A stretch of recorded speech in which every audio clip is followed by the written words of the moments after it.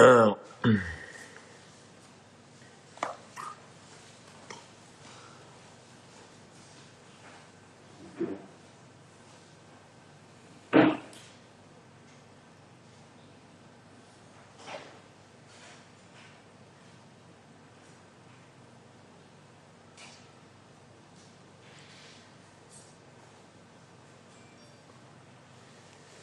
感谢虚伪的崇宁万年，谢谢。OK，这个基地漏水啊，跟不跟房东说一下？这有啥可说的呀？没啥可说的呀。明天呗，明天告诉他呗，说漏水了。不是阳台不排水，是他们从来不打扫那阳台。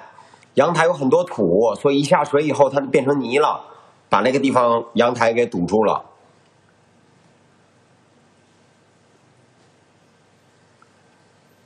胖人设真好，吃完就睡，漏水了还在那儿睡觉。今天好多人休息啊，主要是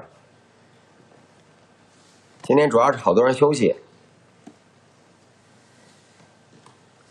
有一个刚刚是不是有一个我刚刚扫过去一个弹幕，说什么我把人房东给坑了？是不是有一个这弹幕？那个逼有有牌子吗？师哥租给你的房子的房东坑了你。哦，房东坑了我是吧？哦哦，不好意思，我以为说我坑了房东呢。哦哦，没事儿没事儿没事儿，不好意思不好意思不好意思，没有漏水了吗？我想说永丰几个人助助兴嘛。人都说杀杀一个黑粉能挡煞嘛。我就说杀几个黑粉，没准这个东西就挡过去了，知道不？我我看场面了。嗯，对，看场面了，不好意思，不好意思啊。人家睡觉也不知道，对啊，正常不知道，因为那房间没人，你知道吧？那房间没人，要不然早就发现了。主要是雨太大了。看这有什么那个？师哥，赶紧把漏水的直播视频删了吧。那有啥可删的？那正常房子漏水没人发现，那不很正常吗？对他不租出去的话，这样也完。对呀，小吴作为助理，这些都应该检查好的，有道理啊。那到时候看呗，让小吴赔钱呗，这都非常简单的一个事儿。重点不是可以睡觉，我操，这水昨天怎么还在这儿？这可乐。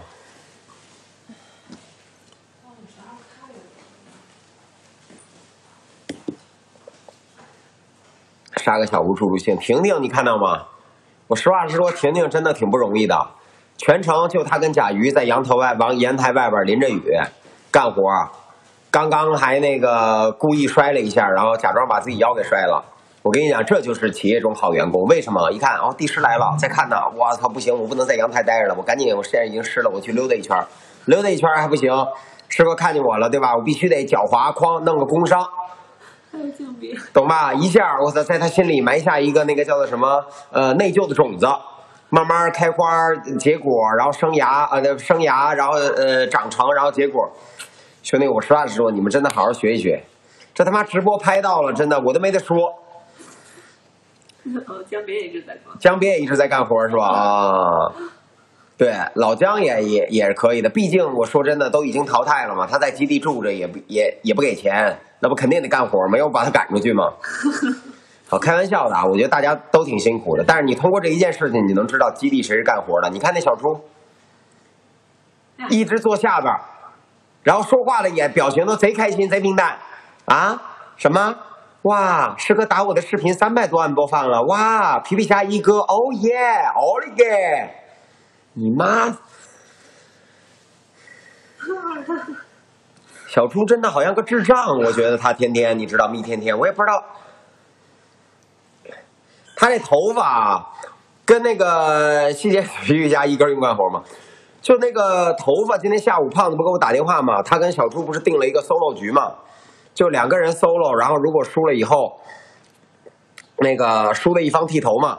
然后那个小猪不是输了吗？输了，然后问我，我说呢，就到时候晚上吧，等到人多的时候再剃，有点节目效果。我现在决定了，剃一半，知道吧？就只在中间剃圆圈哎，下个月再剃一点儿我剃个 M 也行。对，或者剃个 S，剃个 B，反正头发弄完了，我跟你讲，直接剃秃一点效果都没有，知道吧？就是这儿啪剃一段儿我让他们商量一下设计发型，就这样的话，然后让他直播一个月，知道吧？我让我让他以后在这儿天天在跟我这儿瞎逼逼。然后那个剪我视频的人，我还是那句话啊，你蹭我流量啥的，我真的我我我我很开心，我没关系啊。麻烦你他妈视频能不能剪全了？我昨天吃饭的那个东西，我一直在那儿说，我说不是节目效果，不是节目效果。你剪一个我不说这话的，弄得好像说我害怕怎么着，然后说在这洗白似的。我需要吗？我告诉你，人是我打的，对，左手当时右手拿着手机呢，知道吗？左手如果拿手机，右手劲儿更大。知道吧？右手如果打牙都飞了，我需要啥洗白呀？我就告诉你了，没不是节目效果，自然反应。你他妈剪视频还把这段给剪掉了，你可真行！你蹭我这个天天的。朱家军能惹事儿，但是怕事儿。我说的真的，实话实说，这他妈小朱刚刚那个我都快气坏了，所有人在那收拾闹，他全程在那乐呵呵，跟他一点没关系似的，在这儿。气死我了！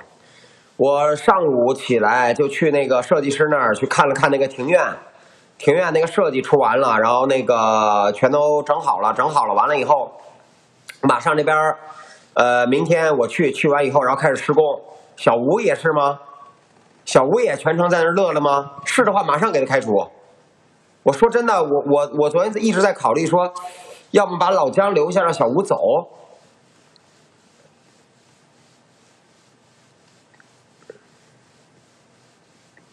小吴最开心了是吗？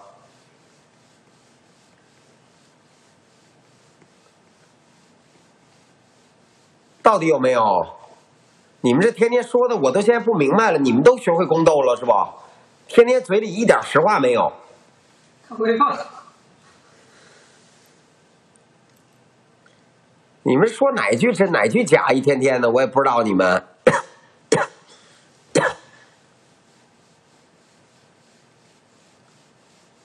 是你让小胡干活，他才去的。我没有让他干活啊，我就想看他们拍那态度。你妈那水都快变成水帘洞了，天天的在这儿假模假式没看见。但是今天有一件事儿，我觉得是值得开心的啊，兄弟们。为什么呢？就是可能跟大家无关，但是你们的父母和对于这个咱们呃这些水深火热的这些投资者、老百姓来说是个好事儿啊。今天股市大涨，今天股市大涨，这个兄弟们都应该知道吧？茅台又创了新高，真牛逼！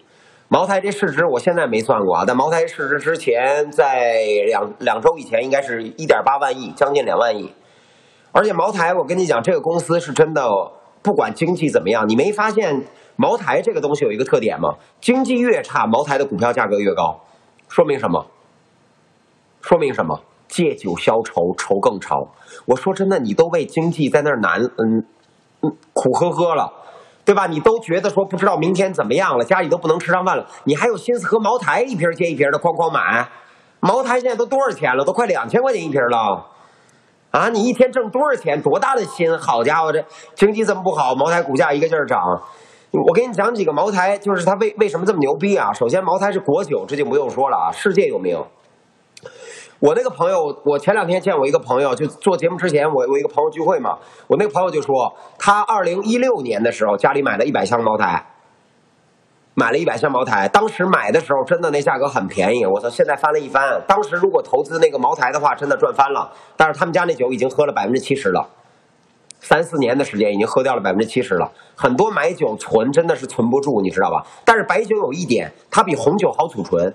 越是这个说这个经济不好的时候或什么，你如果能买到真的茅台，我实话实说，未来这个真的是液体黄金，液体黄金就是再怎么样，你看经济好的时候茅台涨，经济不好茅台更涨。茅台的这个整个的这个员工福利啊，我感觉是全中国应该是企业最好的。感谢我岁史年华老板的宠你一万年啊！岁史年华说现在能买吗？现在买不了。茅台的这个股票，我跟你讲，你看一个叫做什么叫流通性。茅台的这个股票，你虽然一直看它涨，它的流通性很差，为什么呢？都是股东内部流通，它就是偶尔放出来一点儿，放出来一点儿，老百姓接盘，没有人炒茅台的。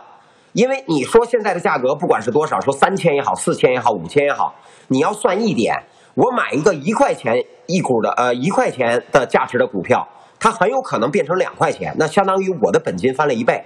茅台，你想想，三千块钱、两千、两千块钱的股票，你买完了以后，它得到四千才能翻一倍，所以说它的流通性很低。而且大部分炒茅台，你需要手上有大量的资金，所以茅台的最主要是什么？是它的员工福利和它的长期股东。我没说我们早年前我有一个朋友，他是茅台的小股东，当时我还觉得茅台小股东有什么呀？我靠，这家伙现在真的是胡吃海塞，天天的真的就是豁比开心呢。茅台的整个平均啊，每个茅台的工人固定的，首先你必须得是当地人，必须得是当地人，好像叫怀县吧，我如果没有记错，兄弟们，我如果记错的话可以。呃，纠正一下，给大家普及点小知识。我记得好像叫怀县茅台，平均每个工人每天也就工作五到七小时，我记得是最多七小时，平均的工作时间是五小时。但是呢，茅台这有一点是什么呢？呃，虽然只是一个怀县非常小的一个地方，但是在全国 GDP 里面，茅台排第三。在全国整个的 GDP，你北京、上海，然后跟它并列的，我记得好像是江苏哦，仁怀，仁怀，不好意思，仁怀，对，就是仁怀，没毛病，仁怀没毛病哦，怀仁，怀仁。哎，仁怀仁怀，我记得是仁怀，不是怀仁。仁怀仁怀县嘛，我叫叫仁怀县。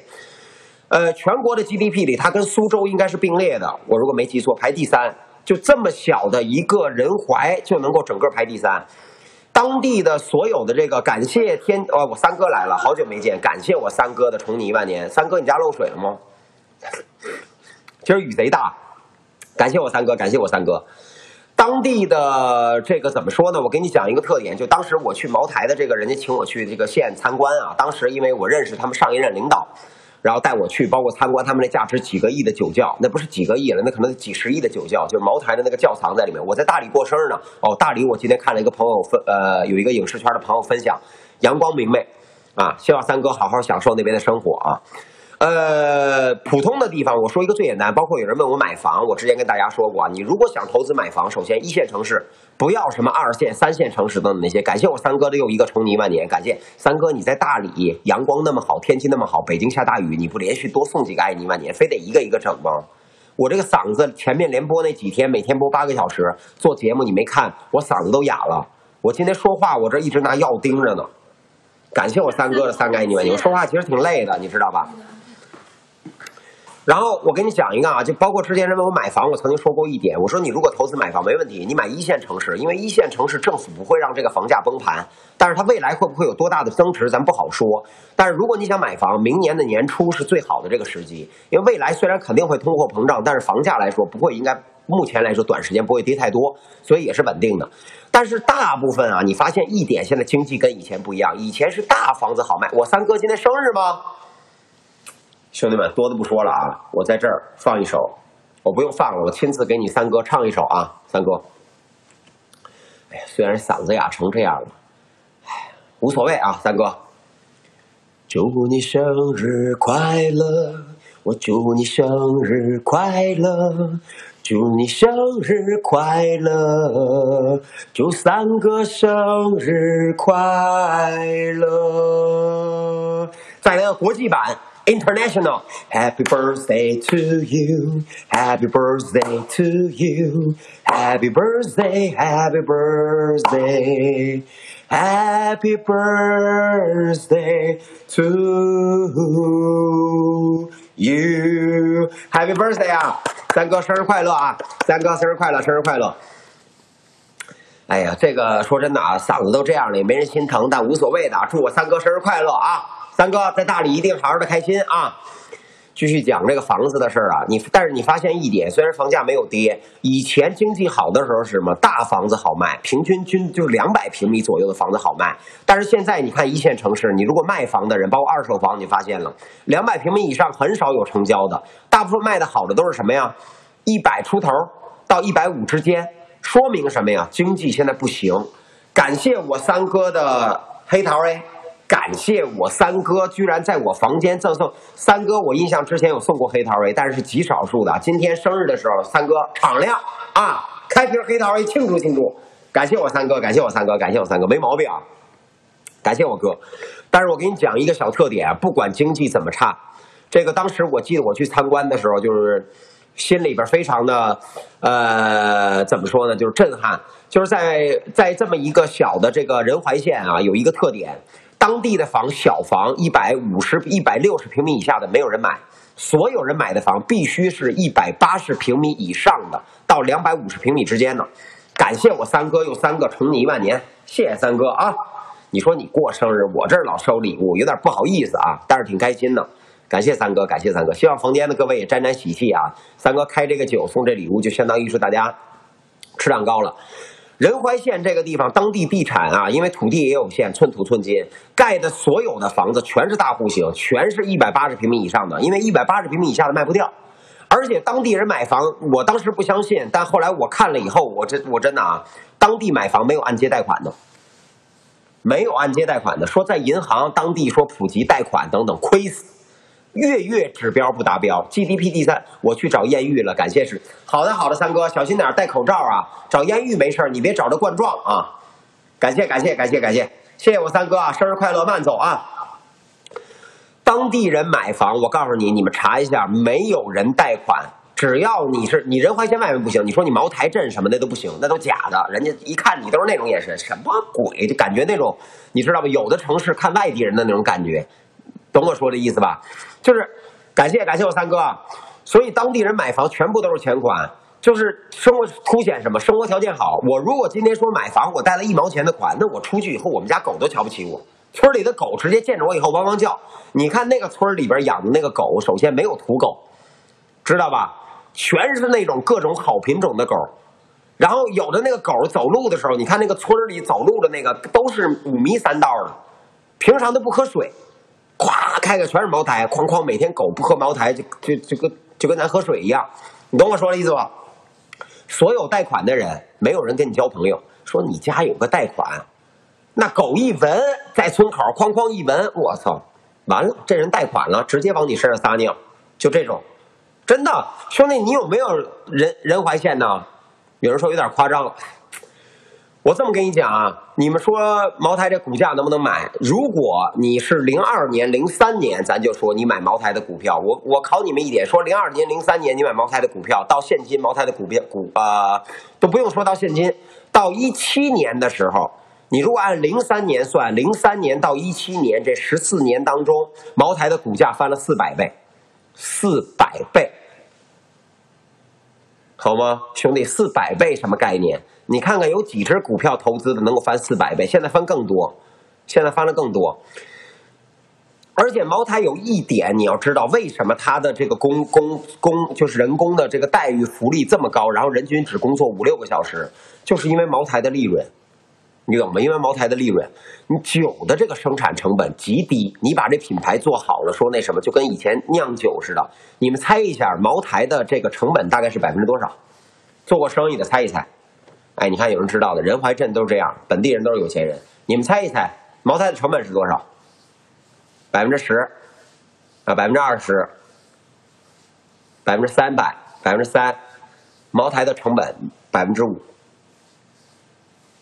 售价的百分之五，现在售价的百分之四，茅台的成本百分之四，净赚百分之九十六。你去告诉我，全天下包括。违法的生意在内，什么军火呀、贩毒啊，包括那个杀手啊，包括什么所有的这些，什么开妓院、拉皮条，全都算上。你算算，有一个利润跟成本能达到百分之九十六的？还不犯法？市值现在可不止一点八万亿了，现在市值我估计得小两万，小哎两万亿没有，一点九。一一一点八几应该，反正之前我记得几周以前我看了一下，大概市值是一点八万亿市值，好吧？而且茅台很多人不炒股的不知道啊，呃，我们这个中国的这个 A 股市场股票市场是分这个深市和沪市的，深是深圳的深，啊，沪是这个就是上上海的这个沪，这都能明白吧？啊，现在已经两万亿了是吧？我的妈呀，这董事长天天的啊！每天干嘛呀？我真的都不明白了。每天，这家伙每天起来以后拿茅台洗澡，钱也花不完啊。很多不炒股的不知道，我跟大家讲一下啊。茅台这只股票是整个沪市第一股，就整个沪市这么多家企业，这么多家上市公司，所有的全算上，沪市第一股。还有一个深市，有没有人知道深市第一股是谁？有没有人知道？深市第一股有人知道是谁吗？有人说腾讯，有人腾讯，兄弟，五粮液，好吧。现在腾讯的市值可能涨了点，但最稳、最稳、最稳定的一定是五粮液。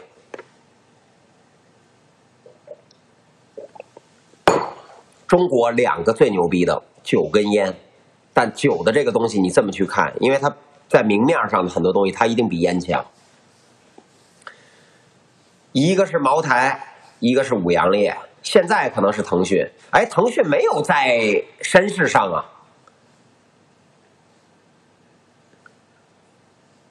我忘了，我记得腾讯没有转 A 股吧？腾讯之前好像是在港股上市的，我记着。深市第一股一直都是五粮液，沪市第一股是茅台，这就是两个酒贼牛逼的地方。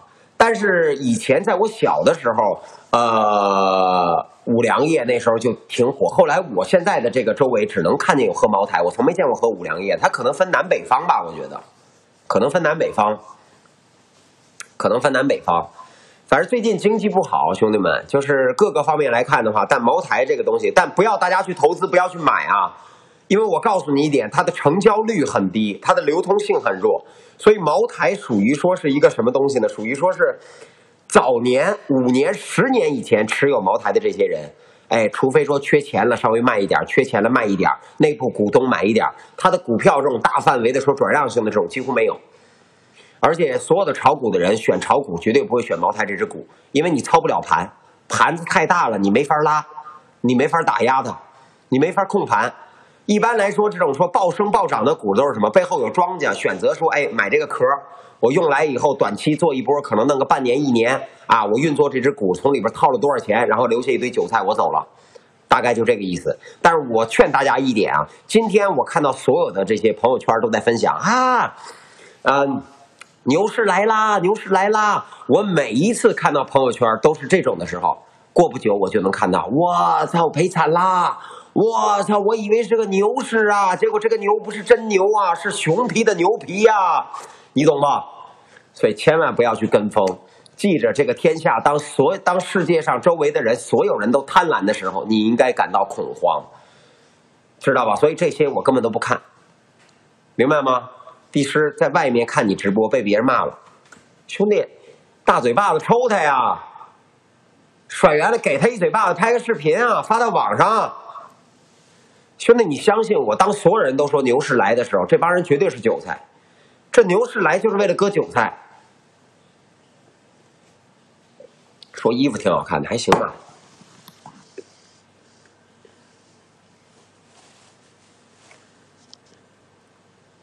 还可以，我觉得挺好看的，而且比较凉快啊，比较凉快。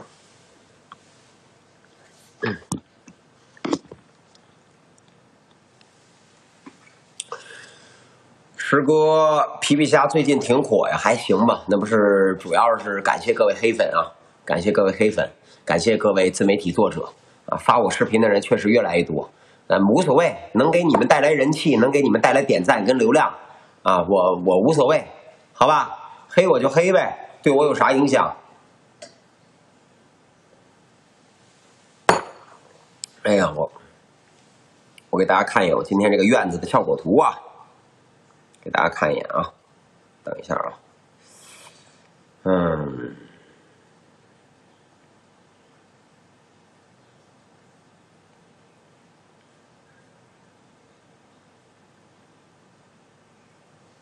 好啊，哎，等一下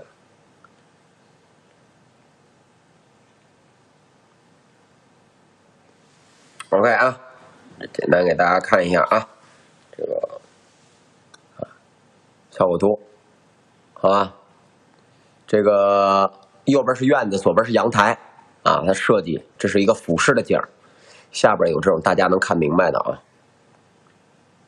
啊，做个过渡啊，弄点这个石窟山水，但是简单的啊，这弄弄点这个鼓的灯，弄点这个流水。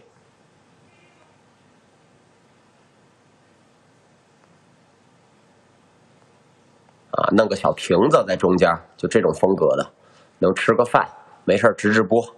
然后里边这是那个，这是阳台啊，阳台，阳台准备设计一下，没事弄个烧烤，弄点花儿啥的，好吧？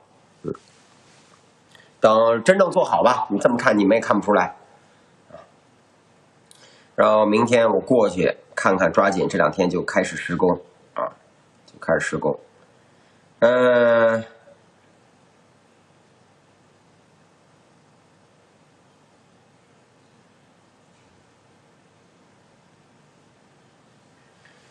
这个不光是二蛋啊，我还有这个其他，就我这个房间帝王套的，这就是这这这几个孩子，我之前给他们拍了一个那个写真啊，就用那个写真不就行吗？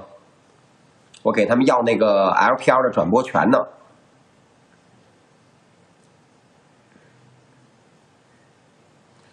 不是这个不光是二蛋的呀，这其他人呢咋说了？给他们要这 LPL 解解说权，能吸点粉啊？呃，师哥抽个奖，测个字啥的行吗？看看有没有牌子，没牌子我就给你永封了。我看一眼啊，问我这么冒昧的问题，一级粉丝牌侯西东啊，不行，好吧，看你一级牌子饶你一命，好吧，饶你一命啊。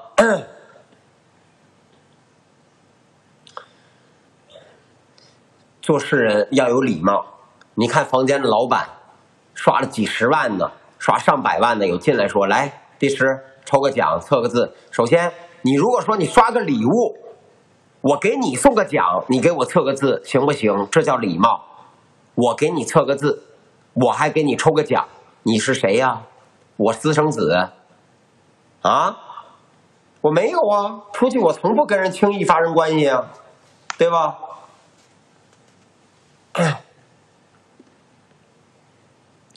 而且最近很多的东西，就是你不要光从说股票这个东西，你懂我说的意思吧？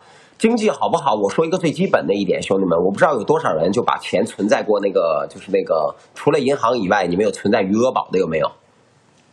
兄弟们有没有除了说把这个钱放在银行，还有放在余额宝的有吗？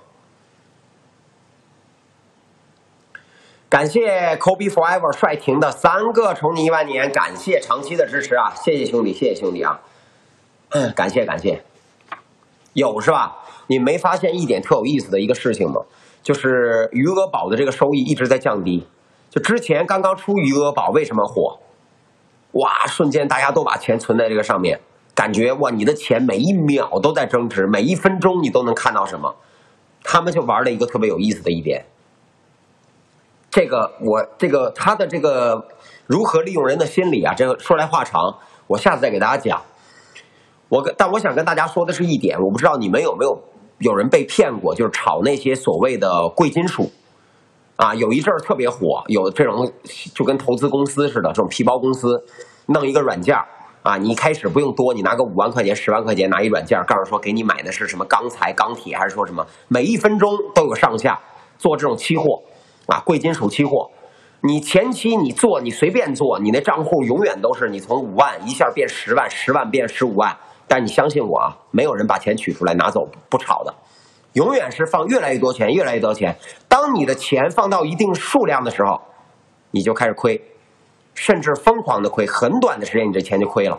但是你得认啊，为什么？你觉得哎呀，我这个钱我自己判断错了，对吧？我亏了，我认。但是后来。曝光了以后，发现很多人甚至炒的这个东西都不是联网的。什么叫不是联网的？每一个人看到的这个价格都不太一样。就你这东西相当于一个单机游戏，你把钱放进去就是一台机器，你按照这个东西，它的机器算法是什么？人性对贪婪的算法，赌博如何会让你上瘾的算法，毒品如何让你上瘾的算法啊？先是感觉像不要钱似的，免费的，给你送一点，来一点。啊，当你慢慢这个贪婪心放大，一点一点一点，系统判断 OK，他已经上套了，哐一下给你吃了，紧接着看你还有没有反应，往里砸不砸钱？好，不砸钱，哐再让你跌，慢慢全都是这样的。所以我跟你讲，余额宝这个东西，你要知道一点是什么？很很多的投资其实都是这样，我们看到的叫做什么账面盈余，我们看到这个数字只不过是一个账面的数字而已。你不把它取出来，你不把它拿走，说我永远不做了，这都不会是利润。我之前在这方面吃过很多亏。我之前投资就有一个朋友，每一天被骗了嘛，每一天给我发一个投资的一个结算。我那个时候给我发那个结算的时候，我这么跟你说吧，最少的一天收益六万多块钱，多的时候一天几十万，一天啊，而且没有亏钱的时候。呃，大概过了一个月以后，就已经那个账面上的钱就已经翻了大概一倍多。然后我我也没有继续往里面放钱，然后紧接着就每天继续这样，继续这样。然后过了多久呢？过了半年，过了半年，当我说我要取钱的时候，跟我说暂时这个钱取不出来。我说为什么？说这个赶上说这个东西啊，做这个东西咱们签的是一年的合同，这个投资理财你这刚半年，你这如果说咱们是朋友，你短时间要拿的话啊，我可以，但是我这个大额的资金你是靠在我这个账户的，我这个账户是一个几个亿上下的账户，我如果单取你这笔钱呢，我需要申请，申请我说需要多久啊？下个月吧，下个月再继续拖，又拖了几个月，最后发现朋友没拿我这个钱投资，啊，拿去办别的事儿了。当然，最后这个钱我拿拿回了大部分的，呃，就是就是本金。后来当然是过了很长时间才拿回来，但是前期我那个朋友就跟我说呢，没有办法了，我每天 P 个图发给你。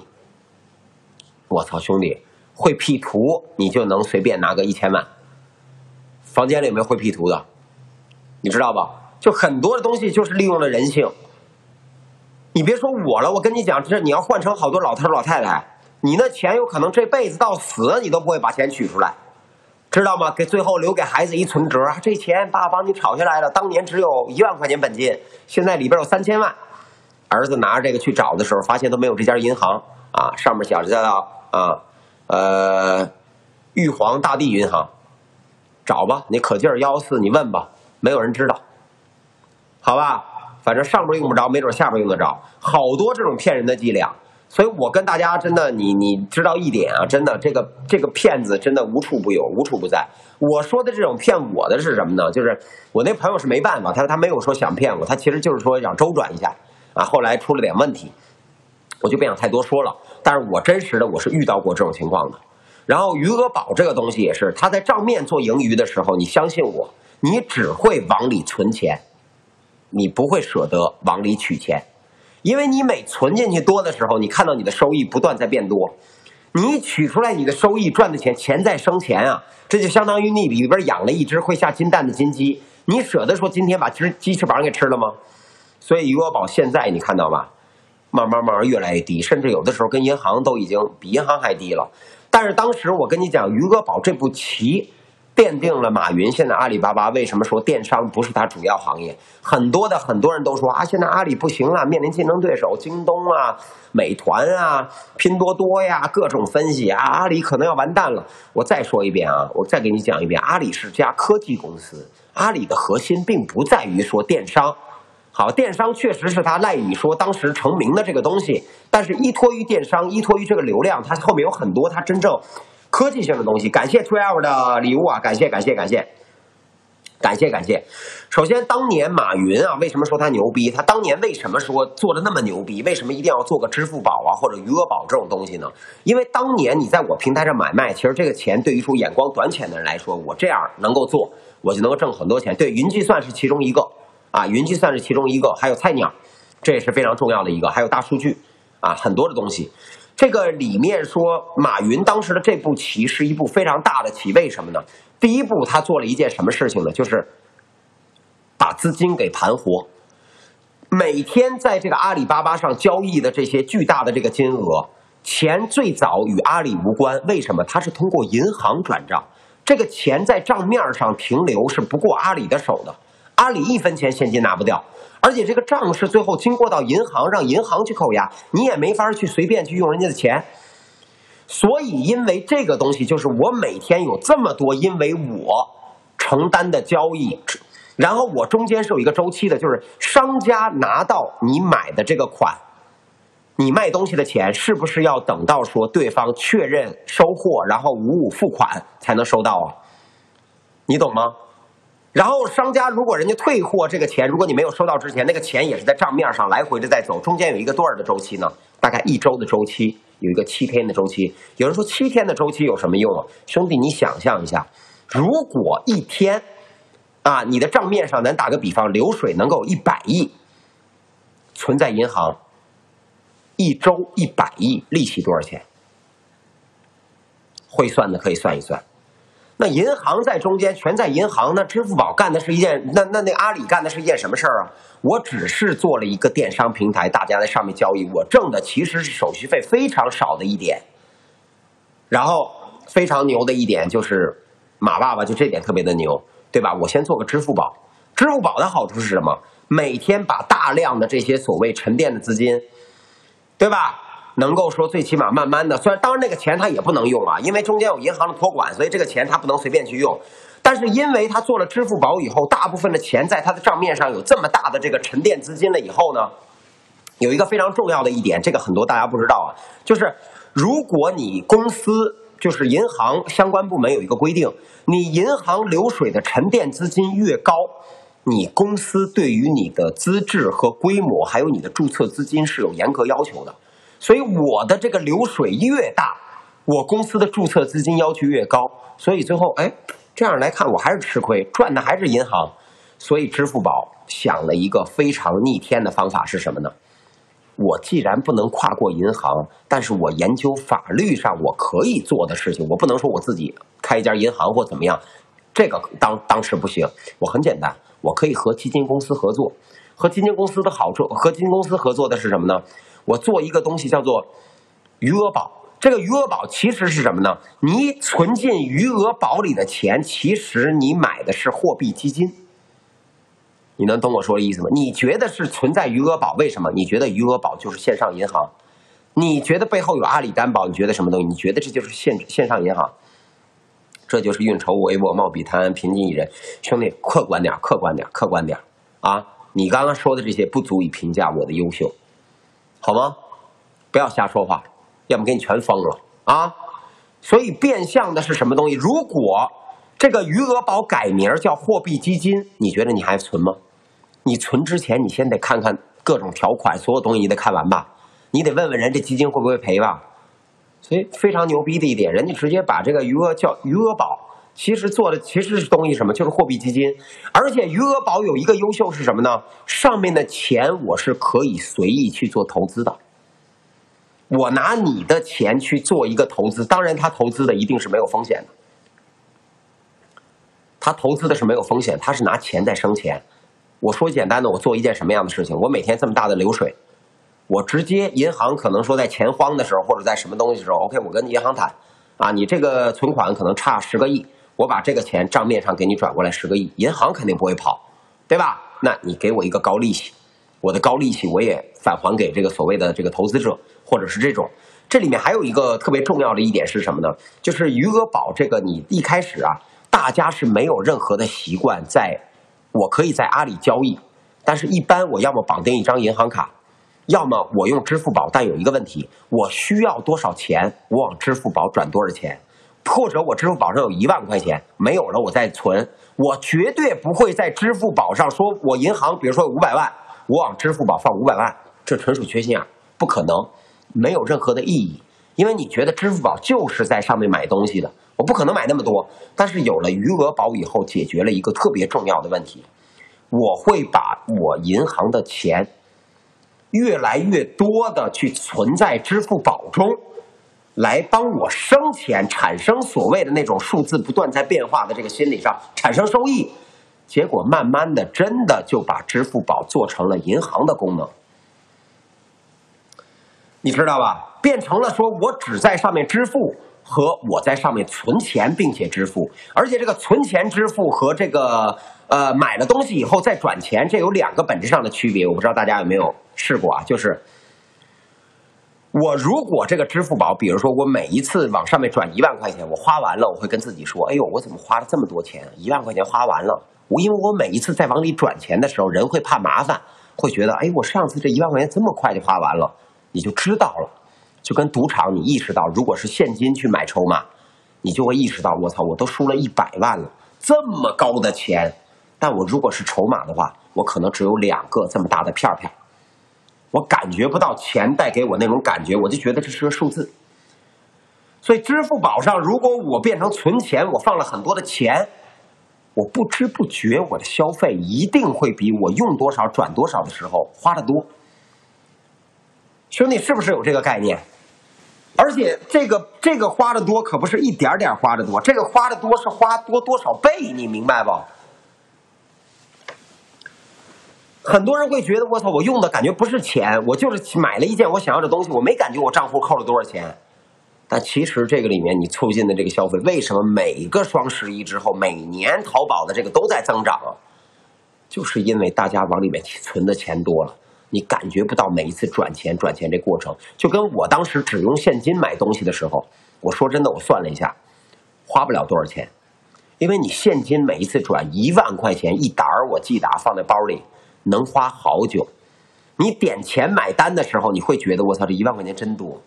但是你如果放在说现在有了微信各种支付，这钱太不经花了，你明白吗？而且这个东西还有一点是什么呢？有了这个除了支付宝以外啊，有了这个余额宝以后，就是我变成说我可以增加我用户的粘性，知道吗？我我大部分人有了这余额宝，就是我除了支付去买东西以外，我习惯刚刚用这余额宝的，我经常会把钱包打出来看一看，哎呦。我当时我记得那个年代，朋友圈都在分享。哎呀，你看我这个余额，哎呦，老公，老头，老，你看看，你看我这数字，你看看又赚了三块钱。哎呀妈呀，啥也不说了，晚上加只烧鸡，就这种感觉，你懂吧？你老在看，老在打开，那同样也是你用它软件的时间是不是变长了？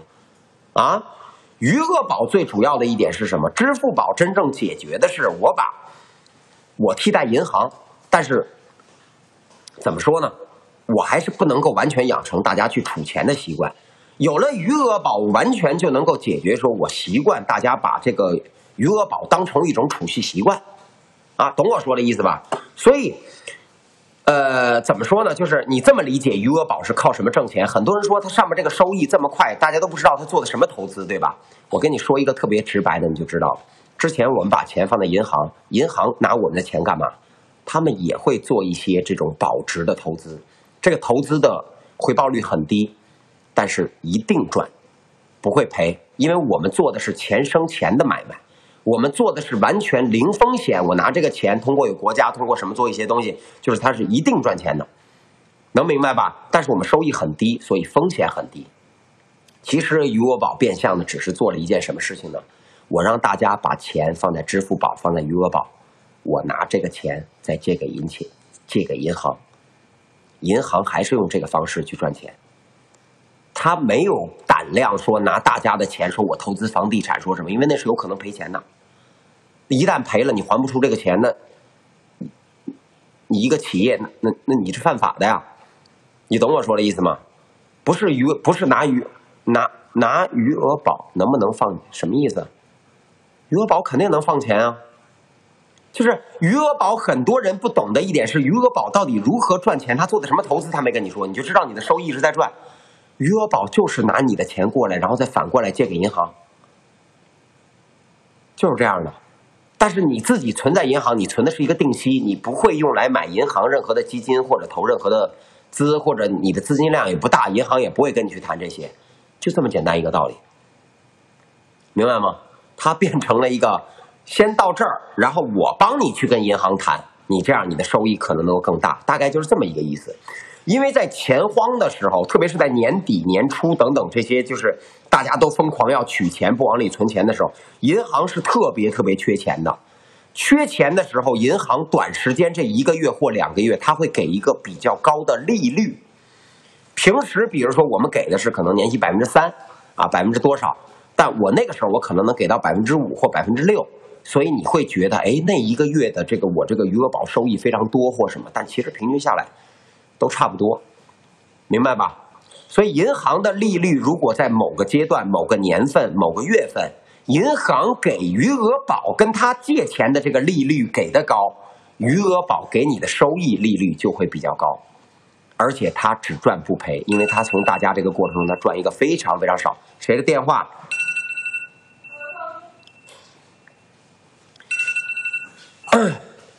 所以这个东西，我觉得一个支付宝跟一个余额宝，就是奠定了说这个，它从一个电商变成了一个大家首先所有电商之前我买卖没有支付宝的时候，我必须要通过银行，知道吧？钱都停在银行，我赚不到任何的东西，但是钱都是因为我而产生的。我做了支付宝的好处是什么？哎，我让大家不通过银行了，钱存在我这儿。然后呢，我以这种基金的方式，我可以动用这个钱，再把它放回到银行，或者要中间有一个质押期，有七天钱在我账户上，能产生一个非常高的收益，我能用这个钱去做点别的。余额宝的这个意义在于说，哎，我拿了这个以后，对吧？让大家养成了支除了支付，我之前支付宝只能做到说我每天大家买了多少东西，我的流水中间有一个七天或者五天的支付期，这个阶段这上面有多少钱？OK，这是在我的账面上，但是我不能随意的挪用或乱七八糟，这就是说投资方这是肯定不行的。余额宝的核心是什么？是让大家养成了储在支付宝储蓄的习惯，之前支付宝不储蓄。有了余额宝，变成了我第一，我会把钱转来不从银行转到这个余额宝；其次，我解决了说，哎，我之前有多少钱，我买多少，没有钱了，我再充钱，我可能觉得，哎呀，算了，我别买了，忍住了。这样慢慢的变成你的钱，反正都在上面，因为特别的方便，冲动性消费不会有想法，消费会增多，所以一二三个环节，最后你知道吧？受益最大的还是阿里。所以这个是很重要，明白吗？有一个叫名字很随意，废话真多。首先我告诉你一点，从你的名字我给你分析一下，你上网起一个网名，你起一个叫名字很随意，说明什么？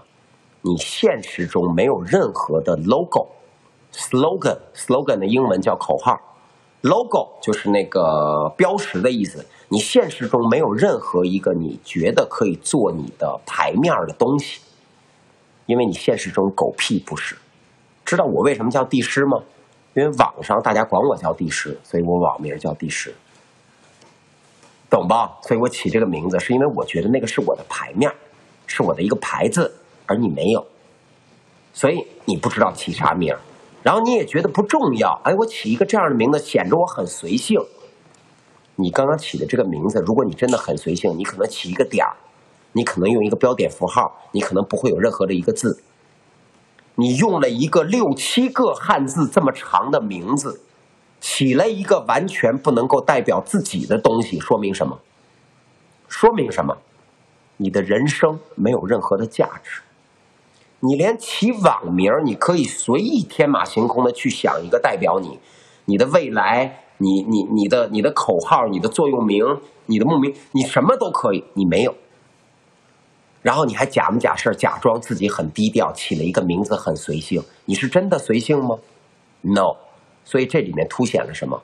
首先，你属于说下流阶层。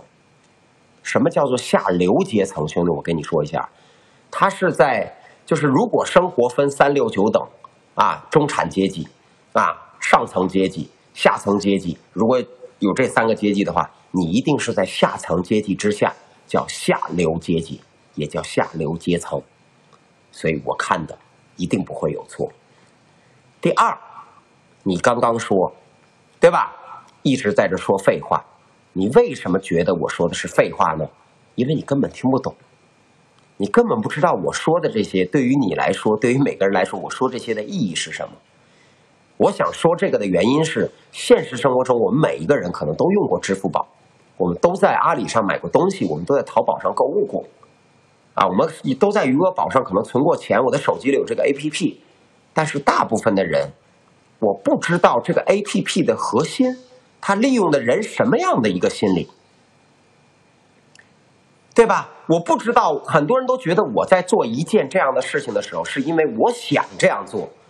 但你不知道，其实你已经被现实的这些商业手段走进了他们的陷阱，一点一点一点被他们控制着。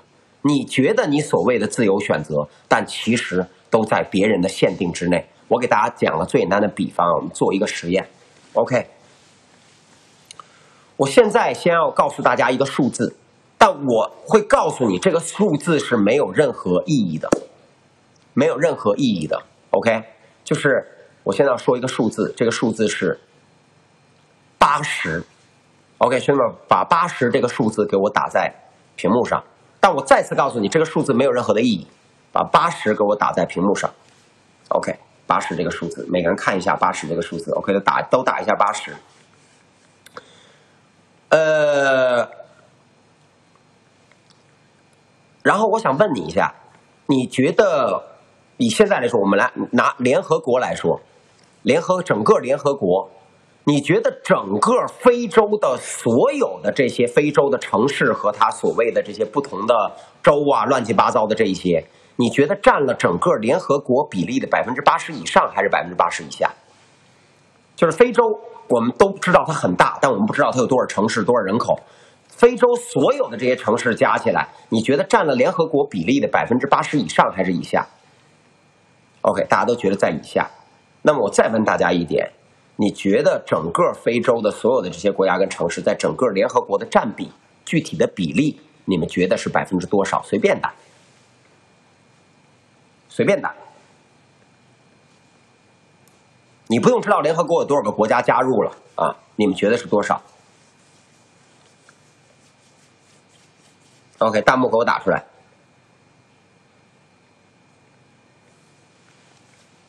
OK，我弹幕卡了，啊，手机也卡了，给我一个能看弹幕的。现在好啊，很多人打三十啊。四十五十三十有打十有打那什么的，我可以这么告诉大家一点：非洲在联合国的占比是百分之二十三，我如果没有记错的话。但是我想告诉大家一点，你觉得你的想法和判断你没有受到任何的影响？我在第一次别人问我这个问题的时候，我猜的数据是百分之三十五。但是我这弹幕是怎么了？我我这个屏幕怎么都不动了？我这个，而且我这边弹幕也不对啊。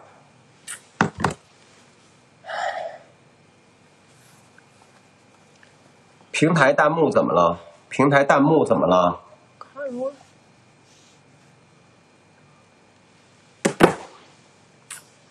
啥破玩意儿？天天出问题。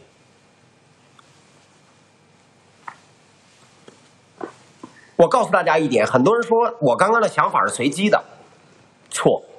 科学证明，看似无关的，我告诉你的第一个数字，这个八十，直接影响了你后面对这个问题的判断。科学证明，如果我告诉你第一个随机的数字是十的话，我问你，如果最就是第二个问题，我问你，非洲在整个联合国的占比是百分之多少的时候，你们会回答出一个较小数字的比例。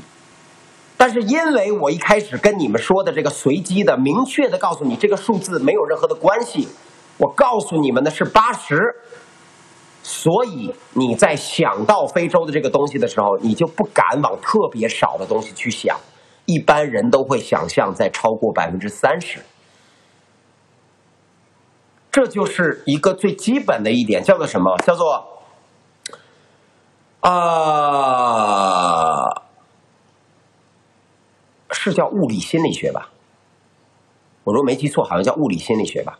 哎，这这弹幕是什么鬼啊？啊？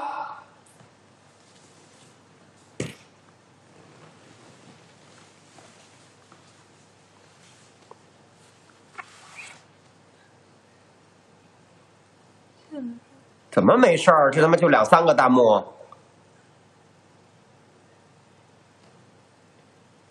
你你们打弹幕看着没看着没问题吗？联系一下那沟通那群呢？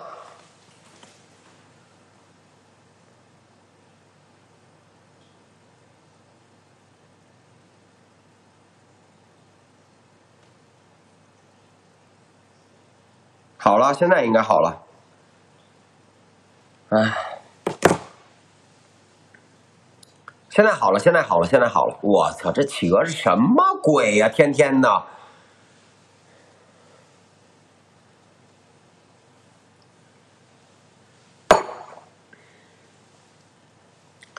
圈子，我刚刚说的能听懂我的意思吗？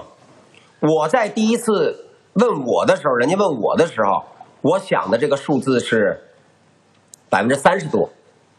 但是另外一个测试，另外一个问题就是，如果他随机告诉我一个比较小的数字，比如说二十或三十，但是他告诉你是一个随机的数字，然后你再问你同样的问题或者类似的问题，你能想象的这个比例就会很小。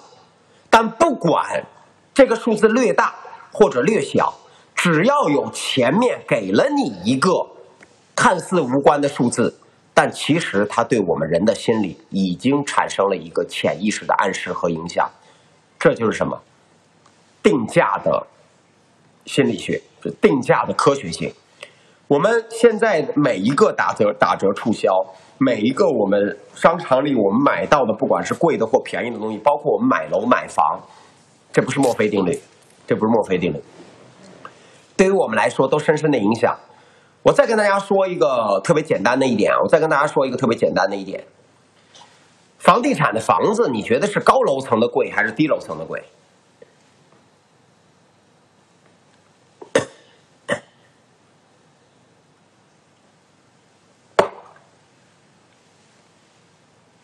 对，楼层越高越贵，但是低楼层说一楼和五楼的价格，你觉得差多少钱合适？我说一个最简单一点啊，就房地产经销的一个最简单的策略。普遍来说，咱打个比方啊，咱不管几线城市的房，说一楼这个房子卖五十万，你手上有六十万，你去买房，啊，八楼的房子或者十楼的房子卖五十八万。你是买一楼的还是买八楼的？你有六十万块钱，你要去买房，一楼的房告诉你五十万，八楼的房五十八万，它们大小面积完全一样，差的只是楼层。大部分人会觉得我买八楼，为什么？因为五十万跟八万一层差一万，我觉得没问题。但是如果我换你一个，我我我换你一个问题，兄弟，这是 OK。我再问你一个同样的问题，但是换一种问法。一楼的房子卖五十万，你觉得八楼的房子应该卖多少钱？让你定，或者你觉得八楼的房子值多少钱？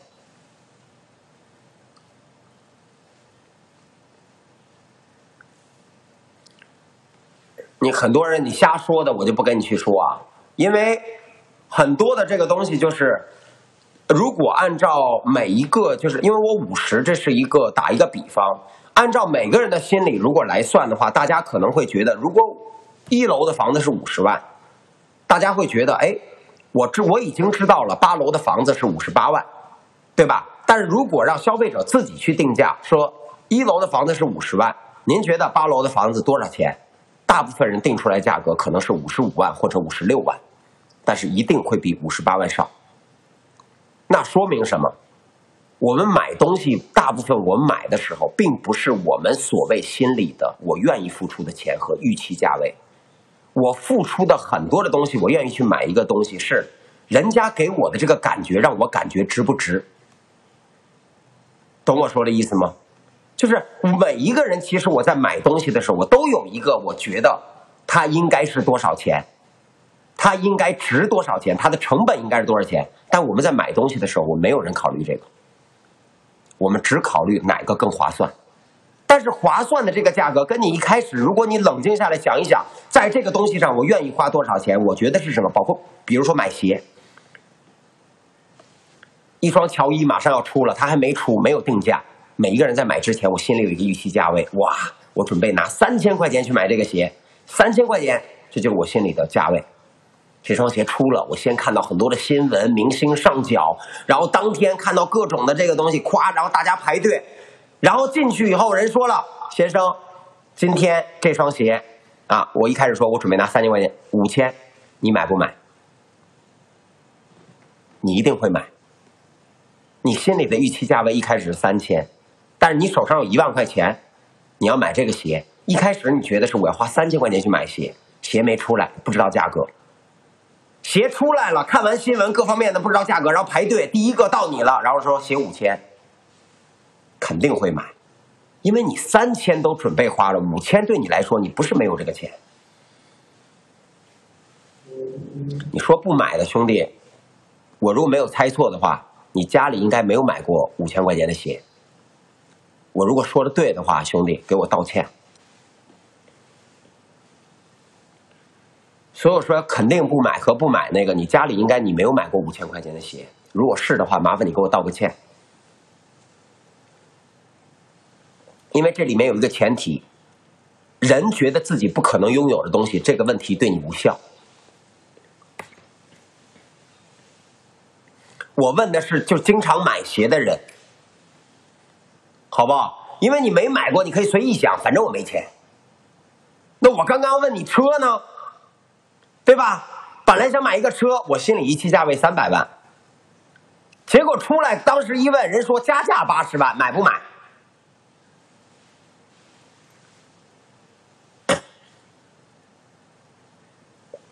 因为所有说不买的，你的第一认知是，反正我买不起，与我无关，你懂吗？我这说到心里去了吧？有点扎铁了吧，老辛？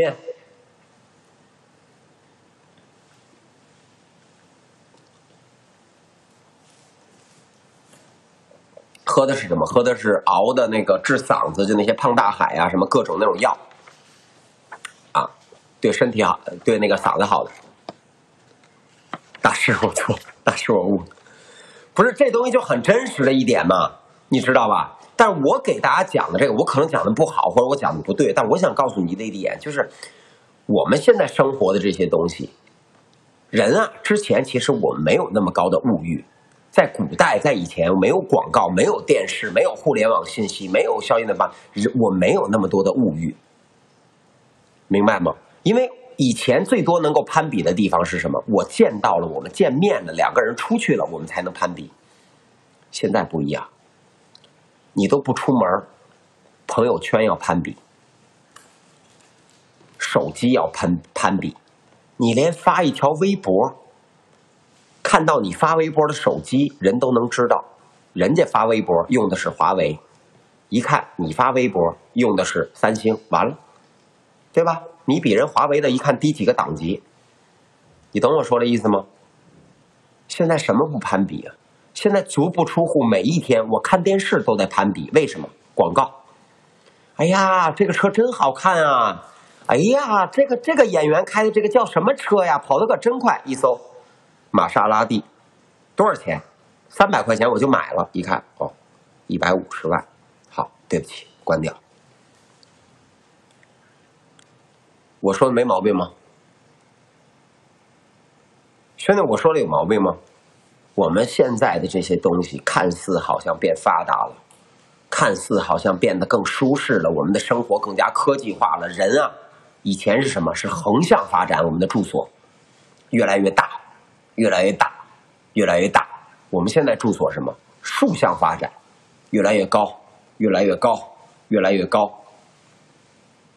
但，我有时候会想一个问题：高层越来越贵，但我们是不是越来越飘啊？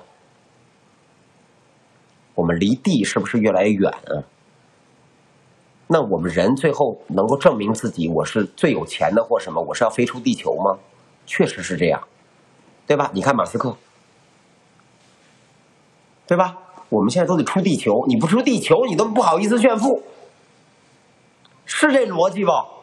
那你觉得是进步吗？我们为什么现在人有所谓那么大的压力，那么大的物欲，来源于哪儿？来源于这种我们接收的高信息、快速的这种无沟通、无障碍。一个见全球的观众恨不得都拉得很近了，这种状态，我时刻都会感觉到我比别人差，我比别人不如，我的胜负心就会很强。我们每一天看到的东西，我们未来我相信啊，我们看到越来越多的东西就是广告，广告会越来越就我们以后的生活，你的人生，如果你死了以后啊，阎罗王在下面，如果说就是说几千年前阎罗王就存在，开始去啊。以前阎罗王死了以后啊，这个生死簿去写东西啊，包括人做过的事情，可能这么一本就写完了。现在的生死簿如果没有说那下面没有更更新电脑或什么东西，现在人下去可能都有这么厚。为啥呀？你一生经历的事儿太多了，以前没有那么多事儿。两点一线，三点一线，说你去哪儿旅游，很多人这辈子可能哪儿都没去过。你看现在，对吧？好家伙，你这去多少地儿犯过事儿啊？你怎么干过这么多坏事儿？你这一辈子你都干嘛了？一看，啊，三分之一的时光在睡觉，三分之一的时间看广告，三分之一的时间自我反省。你这一辈子啥也没干，幻想，你懂吧？以前人三分之一时间睡觉，三分之一时间思考，三分之一时间干别的。对吧，兄弟说的有没有点道理？现在人三分之一，我在想我要干嘛？我要买这，我要买那个。一看三分之一全是欲望，对吧？睡觉时间越来越难入眠，现在都占不到三分之一了。现在全是抑郁症，全是晚上睡不着觉。以前古人哪有那么多晚上睡不着觉的？第一，他往家里一待，太阳下山了，啥事儿没有。你懂吗？啥事儿干不了？手机手机没有，电视电视没有。你看书看着看着就困了，看着看着就困了。哎呀妈呀，不行，睡觉了。现在为什么失眠啊？我先看了一部影片，哎呦，这部大片拍的真好，可惜有点马赛克。睡觉睡觉睡觉。哎呀，我这个血液怎么感觉不太流通啊？怎么不往这个肝和脑子上走啊？老感觉往下冲，怎么回事？睡不着，啊，不行，洗个冷水澡。天天，你天天你能睡着觉吗？我实话实说，你拿手机待会儿啊，我看个片，哎呀，真好笑，睡觉，你能睡着吗？你懂我说的意思吗，兄弟们？你懂我说的意思吗，兄弟们？就是。现在人的这些东西，就让你你说开始有了乱七八糟的这种，而且我说一个最简单的一点啊，说我们生活大部分人一定都是说我什么叫成功？我生活在城市当中，没有人说成功是啊，我住在农村，对吧？那就变成什么？当所有人都向往城市的时候，慢慢越来越多的农村会变成城市，越来越多的平房会变成高楼大厦，变成别墅洋房。那按照我们现在的居住的地方，我们人晚上为什么怕孤独？我得晚上我得让你消费，晚上我得让你有事儿干，我晚上我得让你有精神上的这个鸦片，晚上我得让你有娱乐。我需要干嘛？越来越多电子化的东西，科技化的东西，这些东西都是什么？用电用光。你就说一个最简单的，兄弟们，你们小时候，你们就现在所处的这个地方，你们抬头晚上是不是经常能看到星星？反正我小时候是这样的。就同样的地方，抬头都是星星，不看，天天看。现在抬头有星星吗？城市里有星星吗？为什么？光污染，星星一直都在，我们看不到了，因为太亮了。你觉得亮了就是好吗？我觉得在某种程度上来说，亮了把我们其实孤立起来了。光明、光这些东西本来是应该帮我们驱逐恐惧、驱逐这种。孤独驱逐这些的，但现在这些东西真的把我们驱逐这些东西了吗？我觉得这就是不同的角度去看问题，不同的。但你如果真的你说现在人往大理跑，往丽江跑，丽江现在有星星吗？你他妈丽江在古城里边看，晚上你也看不着啥星星啊。但是你如果现在去大理，对吧？你说你住的这个洱海边，晚上有星星。为什么？因为那儿还没变成城市，它变成高楼大厦，变成北京这样，它一样没星星。你懂我说这意思吗，兄弟？没毛病吧？这句话说的。高考加油啊！高考加油！对，很多人参加高考，高考加油。所以现在的人都讲究什么？啊，我要花大价钱，我明天我要去旅游，你去哪儿？我要去西藏，你去西藏干嘛？我要去看星星。以前你抬头就能看见星星，你需要花钱吗？感谢 Vegas 金的超反战机，感谢 Vegas 金，感谢感谢感谢。就很多的东西，我觉得人只是换了一个形式去追逐名和利，而且这些东西就是变得变本加厉。就是现在的这些东西，我能确定一点，就是在我看来，我们这个物种。就以人类这个整个物种来说，我们绝对不是在进步。我觉得，所以我看那后浪等等那些东西，我为什么无感啊？我觉得纯属扯淡。我觉得纯属扯淡。我我如果我觉得我想宣传的核心价值观和很多的东西是什么？是第一，我们要知道我们为什么去追逐这些东西，哪些是受到影响？当然，可能我们区分不了，因为这些东西已经跟我们的生活潜移默化，从小到大融为一体了。你能区分哪一个你看到的是广告，哪一个是你内心真实的想法吗？我们慢慢的连真实的自我想法你都分辨不出来了，全都是陷阱跟套路。打个最简单的比方，今天股市涨了，你觉得你自己的想法机会来了？我要赚钱了，奥利给冲啊！财富自由，你出来的时候能有个裤衩都算我白说。然后输了，人还采访你，呃，先生，请问您为什么一丝不挂的站在街头？我怪我自己，我不应该贪心，我不应该炒股。是你自己吗？你如果没有看那条朋友圈，感谢勿扰我的兄弟的宠你一万年。你如果没有看新闻，你如果没有看到很多的人在这吹嘘牛市来了，牛市来了，你会炒股吗？你能确定哪一个在现今的社会是你真实的想法，哪一个是被人操控的吗？你能确定你现在活的？你觉得你穿的很敞亮？你觉得怎么样？你不是一个行尸走肉？再冷静的想一想。我们那个所谓的真正的，我想成为什么样的人，我想做什么，我想干什么，那个真正真实的你，每一个人有个名字，说孙英雄，啊，张帆，对吧？说这个王八蛋，不管你叫什么，任何的人，那个真实的你，在什么时候开始慢慢的被另外一个你不知道的，慢慢一点一点的控制？你们想过这些问题吗？有没有可能你现在的所有的想法，你造成现在这样等等这些，都是被人控制的，都是被人影响的？驾驭，就是打个比方啊，兄弟们，就是打个比方。但我说这些东西，我觉得就是，可能我这个年纪到这儿了吧，包括我为什么要搬家，我觉得就是考虑的东西，我觉得不一样。第十写高考作文估计满分。我小时候作文确实分数挺高的，确实分数挺高的，这是实话。我觉得很多，我在既然讲到这儿了，我觉得简单的给大家讲讲，有点这不叫封建迷信啊，我给大家讲讲一个一个一个一个，就是研究外星人的时候，人也同也同时去了解的一个理论啊，就是首先你觉得我们现在生活的这个世界。是真实的世界吗？觉得真实的是真实，觉得假的是假。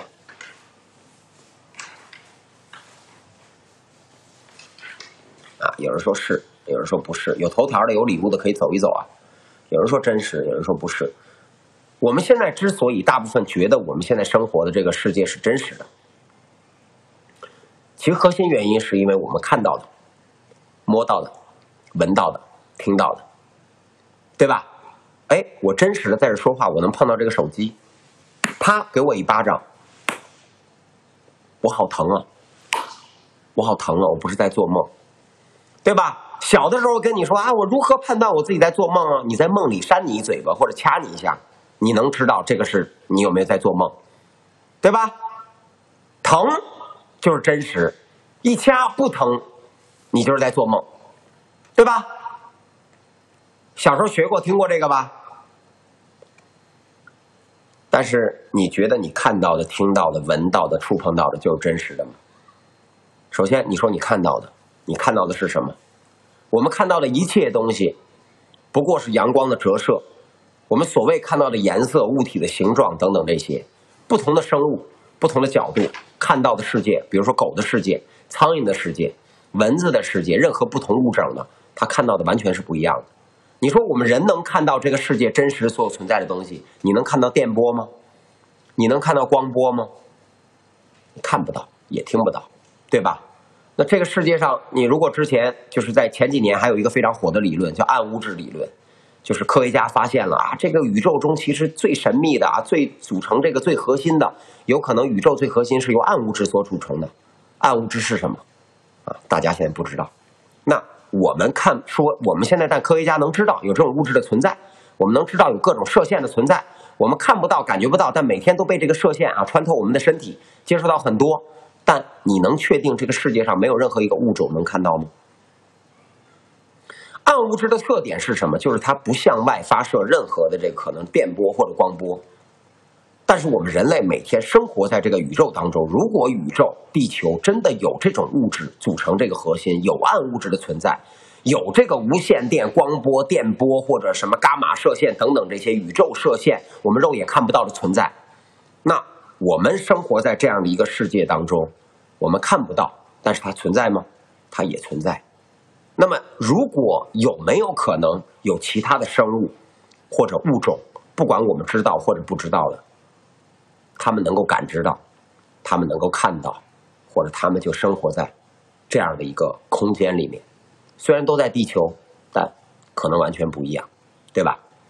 所以，我们觉得说，我们之所以能够活在这个地方是真实的，我们之所以能够分辨我们晚上做梦是假的，我们每天起来，不管你多难过，我们还要起床去工作，是因为我们觉得我们每天亲身经历、感受到这一切。看到这一切，听到这一切，那我说一个最简单的，说我们我们听东西，刚刚说看，我们听东西靠的是什么？兄弟，我们听东西靠的是耳朵，对吧？耳朵为什么能听到东西？有人懂这个科学原理吗？来，兄弟们，弹幕来一波，有人能能懂这个科学原理吗？我们耳朵为什么能听到东西？兄弟们，弹幕走一走。震动，震动就分什么？分音频。人类、狗、猫，啊，大象，呃，海豚，啊，蝙蝠，啊，苍蝇、蚊子，它们每一个人能够感受、听到的这个振动波频率是不一样的。有一些这个，我说，然后我说一个最简单的一点，就是我不知道你们身边有没有人，就是那种科学上叫神经病，叫幻听，因为我是真的在生活当中有遇见过这种有幻听的人，他之前很正常。你知道这个幻听的人有多可怕吗？就是你，就是我小时候不懂啊，我就觉得这人有病，我操，太吓人了，什么鬼啊？自己跟那个动物聊天，我之前给你们讲过，给鱼聊天，有的跟狗说话，有的就说啊，我听到什么有一个声音跟我说让我杀人，然后最后杀人，有的杀人犯也这么说，最后说他是神经病，对吧？但是我稍微长大了，就是如果真的有所谓的感同身受。如果有真的所谓的能够换位思考，我们能够设身处地的站在别人的立场，如果去思考这个问题，如果真的你能够感同身受的话，如果有一天你听到了一个声音，这个人真实存在，或者你看到了一个画面，他能跟你对话，但所有人都看不到，那我们说什么？你觉得你见鬼了？别人说这人有病。但是我换一句话说。我们之所以能够觉得这个东西是真实的，是因为我们看到、听到、感受到。那这样的人，他不管是有病也好，或者怎么样也好，他也真实的能够看到、听到、感受到。我们说他有病，这个逻辑也不成立啊，对吗？因为对他来说，这个东西是真实的，又不是他选择的。他看到就是这有一个人，每一天有一个身高一米七七，啊，身材，呜。对吧？会三种语言，头发颜色各种，一会儿黑，一会儿金发，一会儿白发，大眼睛，高鼻梁，小尖脸儿。我靠，长得就今天范冰冰，明天林志玲，后天什么，然后声音各点，每一天就是在边上纠缠他。啊，宝贝，你是我老公，相信我，真你不，你别跟我说话，他们都说我神经病，你不要想勾引我，我是绝对不会上当，你不存在。你这人生活的，你说他能幸福吗？他每天能睡着吗？压力，你这他承受的压力，兄弟你自己想一想，他承受的压力，你能想象吗？啊？有点恐怖都来。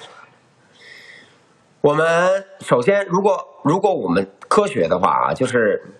啊，我们不说什么疯子在左，天天天在左，疯子在右，那那个不说啊，因为真是我我就说一个真实的东西，就是我们人类如果按听觉来说，我们能听到的这个振动波赫兹数，呃，我如果没有记错的话，最低好像是两万，最高好像是二十万。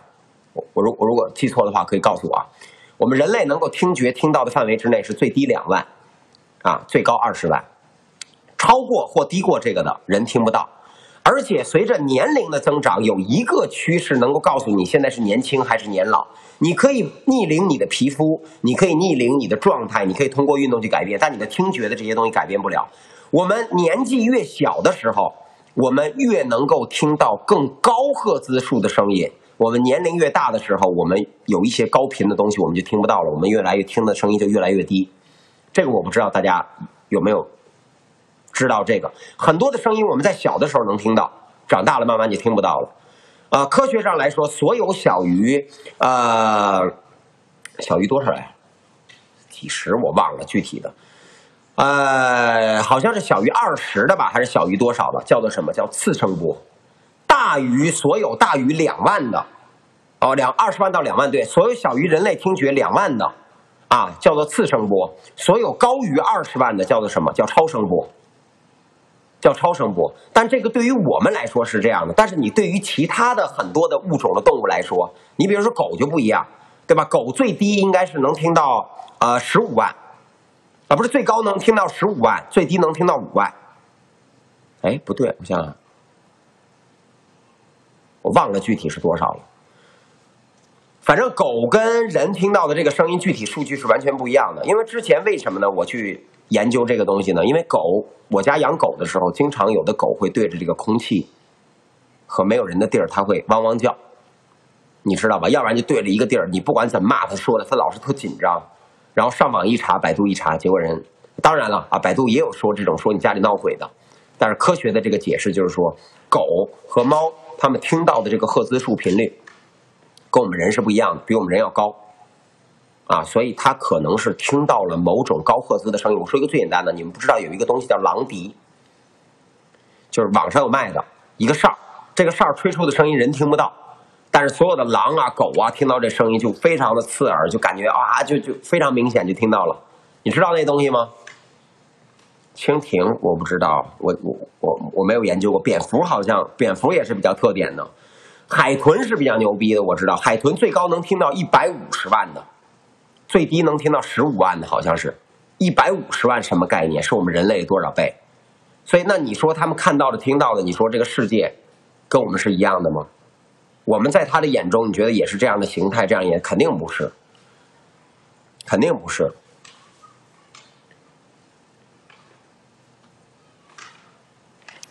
所以这个东西很多东西，我觉得就是在于说你是否愿意去相信吧。因为之前我看那个马斯克的一个采访，马斯克我给大家之前讲过，特斯拉老板很牛逼的一个人，他曾经说过一句话，他说我们就是呃呃那个采访问的，就因为他为什么一直想冲出地球，你知道吗？就不想在在现在这个世界待着。他因他因为他首先他认为说我们存在的这个地球，我们存在这个世界一定不是真实的，是虚拟的。这是他亲自说过的一句话。他说：“呃，我们生活在这个真实世界的可能性只有几十万分之一，几十亿万分之一。这你们可以去找，呃，网上搜一下这个采访。就他曾经说过一句话，他说我们生活的这个世界的呃真实性只有几十亿万分之一，就这么小的概率，我们的世界是真实的，以其他的概率全部都是说我们这个世界是虚拟的。”但是你无法证明。哎，有一句话说的，我觉得这个兄弟不错。他说：“我们现在这个世界是否真实，是由大部分人所定义的。”对。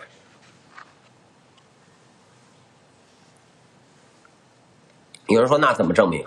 这个有太多的理论了，有这种什么多维空间、平行宇宙、缸中大脑啊，这个梦境与现实。啊，就都能够去证明，都能够就是也不叫证明吧，就都有他的理论去支持啊。我们哪一个世界到底是真实？真实是什么？缸中大脑理论是什么？缸中大脑理论比较有意思。缸中大脑理论就是我们现在生活的这个世界，就是一个高维物种的人，科学家或者研究每一个所谓的人在这里面认为真实存在的，你不过是研究中的一个大脑。因为我们所有的这种我们看到的东西，我们的感知，我们知道的这些东西，都是来源于我们，比如说，人不能直接看到东西，核心我们控制的已经知道，我们不是心脏。我们一切的想法，所有的这些驱动我们所谓的就灵魂，如果真的存在，驱动我们想法，你成为什么样的人，你的欲望，你的衣食住行，你去做什么、吃什么，包括什么，都是因为我们大脑，这个你知道吧？但是大脑本身并没有任何的感知能力。大脑的感知这个世界是要通过我们器官的这个配合，比如说大脑之所以能看到世界，是因为通过眼睛。光的折射，然后产生一个信号，信号里面产生返回给大脑，告诉你这个是什么颜色，比如说绿色是黄色，然后大脑进行这个信号以后，啪产生一个想法跟判断，发出信号，让我们大脑觉得哦，这是绿色跟黄色，这是一朵花。我们触碰到的某一个物体，也是我摸到它，感知，然后大脑通过神经元传递，产生一个信号，我摸到它了，使多大劲儿，这个东西应该多重，所有的这些都是这样的。那既然我们看到的、听到的、眼耳鼻舌身意，所有的这些感触到的，包括味觉、嗅觉。都是由于最后通过我们器官对大脑的一个反馈，其实都是信号。那如果有一台超级计算机能够科学模拟信号给大脑，是否能够创造出一个虚拟的世界？那缸中大脑说的就是高维物种的人。我们每一个生活在这个世界，所有的这个像一个游戏，就像是一个在缸中的大脑。啊，连接着计算机，连接着所谓的信号源，然后不断给这个大脑告诉你啊，你的天是什么样的，你是哪个城市的，你爸妈是谁，你的出生，你的一生。我们会觉得我们一生很长，说过了七十年、八十年、一百年，我们人类的社会过了可能几万年，或者是怎么样。但是在游戏当中，对于那个高维度的，对于那个创造这个世界的人来说，他们只是玩了一个游戏，有可能只过去了一个小时或者十分钟。这就是比如说我们在玩游戏的，感谢广州天才 Lucas 的一个宠你一万年。这就是为什么我们，呃，在这个叫什么，呃啊，这就是我们当玩游戏的时候，你去看，我们玩一个人，从玩一个 RPG 游戏，从生到死，这样整个的这个一生过去，但现实中我们可能只过了四十八小时，或者只过了多少个小时，所以一切的这些东西，我们所谓的反馈，其实不过。我们人生就是为大脑活着嘛，你你这么去看能明白吗？然后刚正大脑没有那么简单啊，刚正大脑相对比较复杂，它里面用了很多的这个东西去印证。呃，之前这个人我如果没有记错的话，呃，叫希拉，你们你们感兴趣可以上网查一下吧，因为具体时间太长了，我有点我我有点记不清了，这叫希拉什么什么鬼的。呃，一九八几年的时候提出了一个理论，叫缸中大脑。就是我们这个整个的社会，其实是一个高维物种所设定的程序，啊，本着这么一个理论得到进化，然后出的这个，然后就是这个马斯克那个采访是什么？马斯克那个采访是二零一六年，你们可以上网搜一下马斯克采访二零一六年，他当时在采访的时候说了一句话，就是。呃，记者问他，就是他他他说了很长呢，他大概的意思就是我们这个社会其实是虚拟的，我们活在呃，我们这个社会如果是真实的这个概率，大概可能只有什么十亿十十万多少亿分亿万分之一，就是特别少的这么一个，而且不光他一个人，很多的科学家，当然。嗯，你不是可能不是特别主流的科学家或什么，他们也啊百万不是百万是多少亿万分之一，十亿分之一吧，还是十多少亿万分？我记得是，反正就是这样的。然后呢，这个缸中大脑有一个最基本的一点，就是你可以去想象的。当然，我们现在肯定觉得根本就不可能不存在。电脑发明了多少年，兄弟们？你想一下，你小的时候从有这个台式机三八六、四八六、五八六、奔腾开始出现。最早我们玩的游戏什么游戏？黑白两个颜色，像素有像那都不叫像素游戏，黑白游戏。从电脑产生有游戏开始，到现在才多少年？从有游戏开始到现在，几十年，差不多吧。具体我也我我也不知道，我感觉几十年。那兄弟，我问你一下，现在的游戏做成什么样了？真不真实？我们现在所有的大作，包括马上要出的那个叫什么什么什么朋克二二二什么鬼那个，有一个赛赛博朋克吧，那个叫什么游戏来着？游戏交互对，包括互联网二零七七，对对对对，赛博朋克二零七七，就是现在的游戏，就现在来讲，短短几十年的时间，我们我们游戏已经，我们现在的科技已经从黑白像素的东西，然后已经进化到现在这样了。那你敢想象一下，一百年、两百年以后的游戏什么样吗？超级计算机随着越来越小，然后功能越来越强大，你觉得未来的游戏，我们真实中所谓的那个头号玩家的那个，可不可能实现？头号玩家那个，首先有多少人觉得未来可能实现呢？可能实现，给我打个一。如果头号玩家那种在一百年之内可能实现，二百年之后呢？那么你怎么知道未来我们不会创造一个游戏，让你觉得你生活在一个真实的世界，但其实是虚拟的呢？那你们又能怎么确定我们现在生活呢不是一个游戏呢？你懂我说的意思吗？这就是一个有点有点恐怖的东西。然后当时这个缸中大脑的理论有几个非常有也不叫科学啊，就比较有意思的这个就是论证，就是说啊，你说这些都是胡说，你没有任何的证据或什么。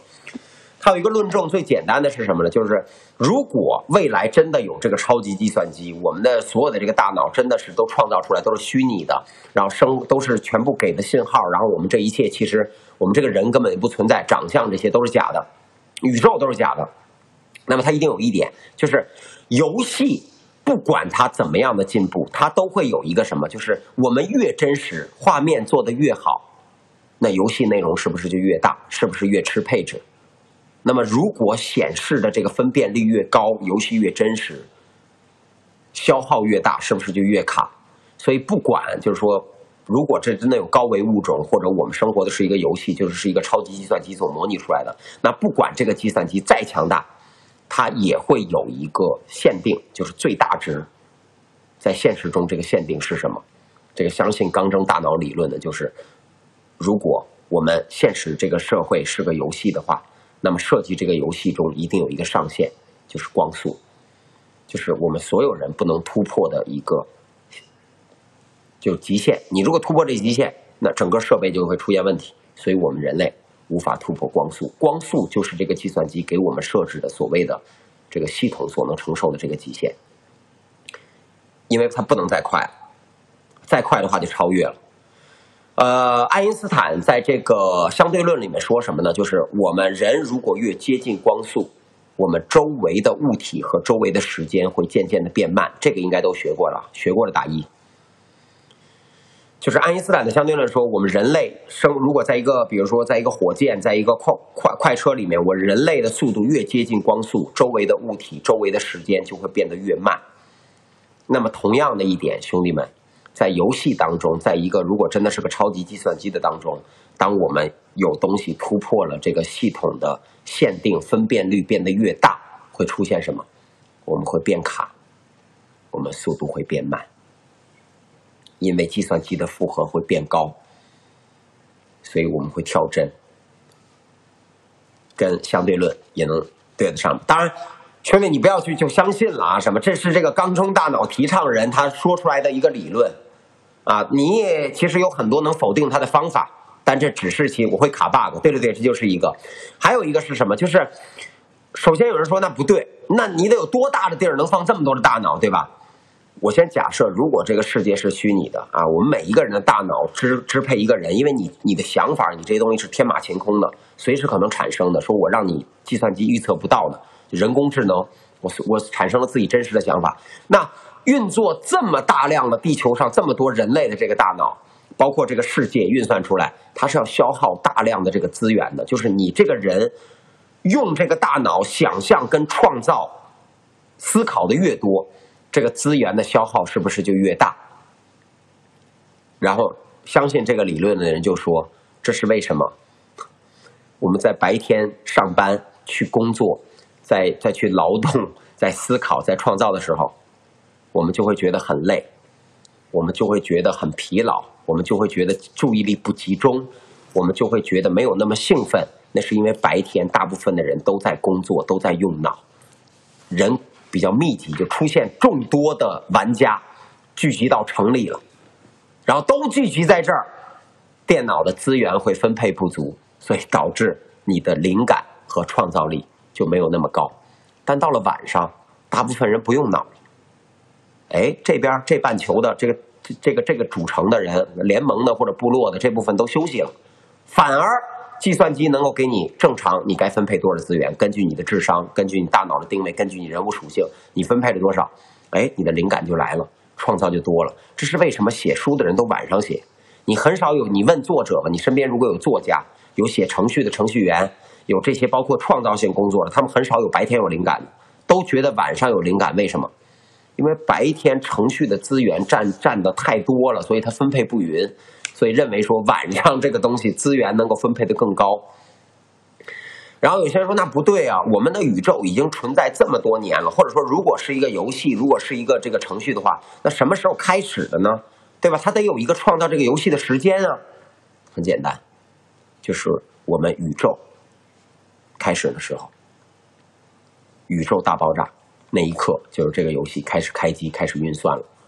啊，相信这个缸中大脑的认为，我们已经在这个所谓虚拟的这个世界程序中度过了可能几百一一百多亿年，一百三十多亿年吧，应该是具体的我忘了。就是宇宙到现在一百三十多亿年。就是我们认为已经过了一百三十多年，那说不可能，哪有计算机说过了一百三十多亿年？但我要提醒你，对于高物物种文明，对于能够创造这种超级计算机的这个高物种文明来说，有可能他们只过去了一天或者两天，他们正在观察，正在玩这款游戏，就跟我们玩的 RPG 游戏一样，他们只不过就是创造出这个东西在看，你明白吗？有人说人类可能已经灭绝了，是有可能没有人类，你明白吗？我们觉得是人类，其实是一个高物种文明给我们创造的这一段所谓的程序中的历史。其实地师你的话也有矛盾，那不是我的话，兄弟，这都是科学家研究的。这缸中大脑的理论，一九八一年不是我提出来，我还没出生呢，好吗？你去查一查，这个缸中大脑没有那么简单啊，它里面还有很复杂的理论。就相信他的，去支持他的，或者是什么？但这只是一种可能，啊！但是很多的研究科学到顶点的人都说过一句话：我们生活在现实的可能性很少。这个是有很多科学家说过的，不止一位。呃，你们上网查一下吧，就是我们生活这个世界是真实的这个概率，你可以看看都有谁说过这些东西，而且说这些的都不是宗教。啊，不是神学、佛学，不不是不不是这些，都是科学家。因为这个世界有很多的东西，可能随着科技的越来越进步，包括你看《三体》也好，什么也好，越有一些东西你无法去解释，你突破不了。就是这个世界是人为创造的痕迹就会很重。包括我之前曾经讲过，人类这个物种，在进化论，在很多东西，人类这个物种的出现到现在。它有很多东西也解释不了。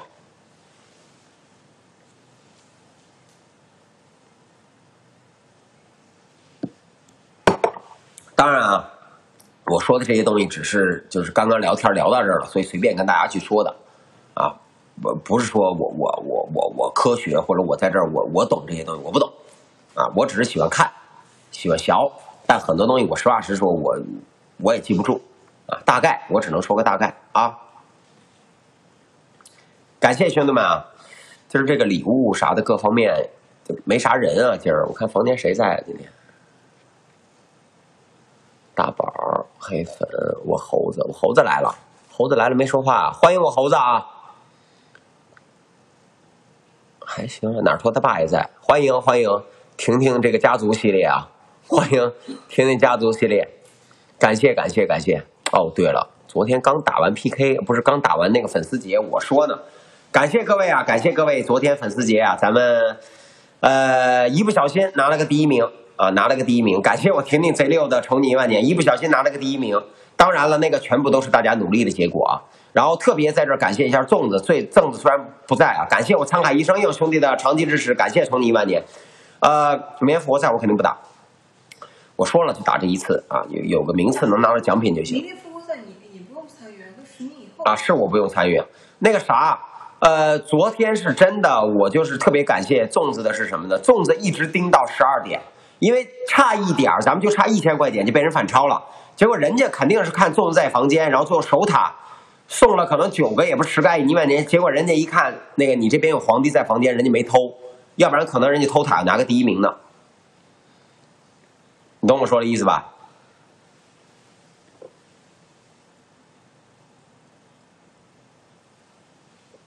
感谢大家，特别感谢，特别感谢啊！我觉得挺好。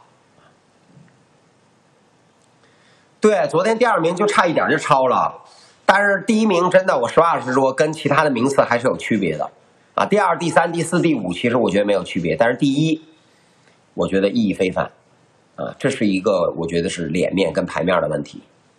我觉得感谢大家啊。上一。所有穿云箭的牌子，我实话实说，也是绝对让你们有有牌面的。这整个平台昨天那一战。企鹅的人都知道，我操！说帝师，你这怎么回事你这怎么今天礼物这么多呀？什么的，他们都没想到的。现在很多梦工厂的主播都很惨，而且很多打都是工会打。咱们是真的，真凭自己的实力，真金白银。我操，真的很牛逼！粽子来，你们好好感谢一下人家。人家粽子，我看进那个瑞秋什么的房间，贼有牌面，所有人弹幕都是什么欢迎纵皇，什么怎么样的，就统一的队形，你们要刷十分钟。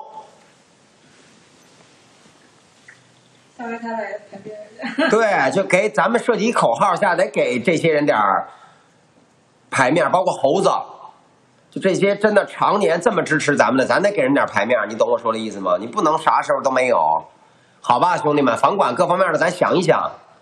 对，瑞秋的房管都军事化了，不是军不军事化，我是觉得应该的，有些东西你明白吗？因为 B 站全是帝师的粉，那你可拉倒吧，B 站全是黑我的，B 站全是黑我的。发我视频的挺多，蹭我热度的挺多，B 站全是黑我的。我都我为什么从来不看 B 站呢？当然，那 B 站门槛确实有点高啊，你弄不明白，你也不会玩。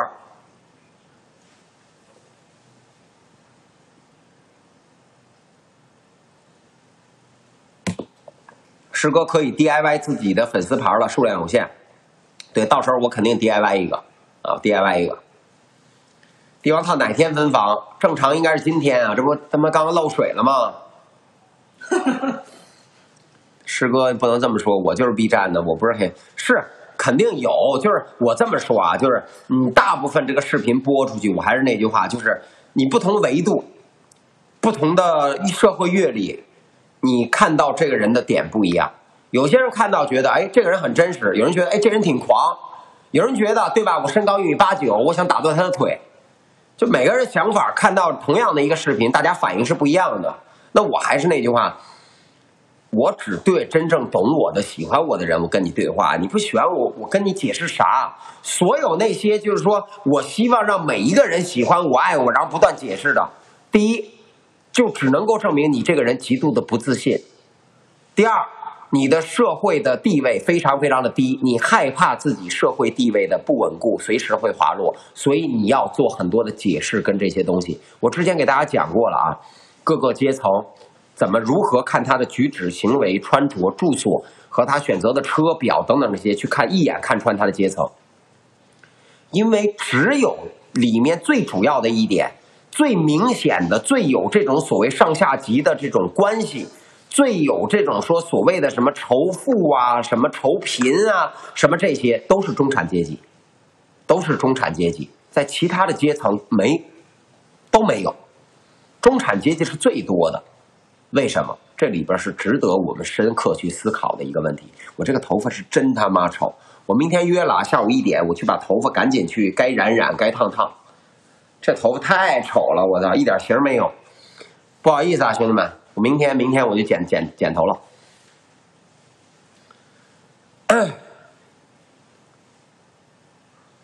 我就是要打断一八九。山东茂名顶替反转了，什么山东茂名顶替？我没有关注过，没有关注过。最近一直在做节目，没有时间。你看我头发要没时间管呢，包括那搬家，今天刚把那些东西确定下来。我明天剪完头还得赶紧去把那个搬家的日期什么定下来。嗯。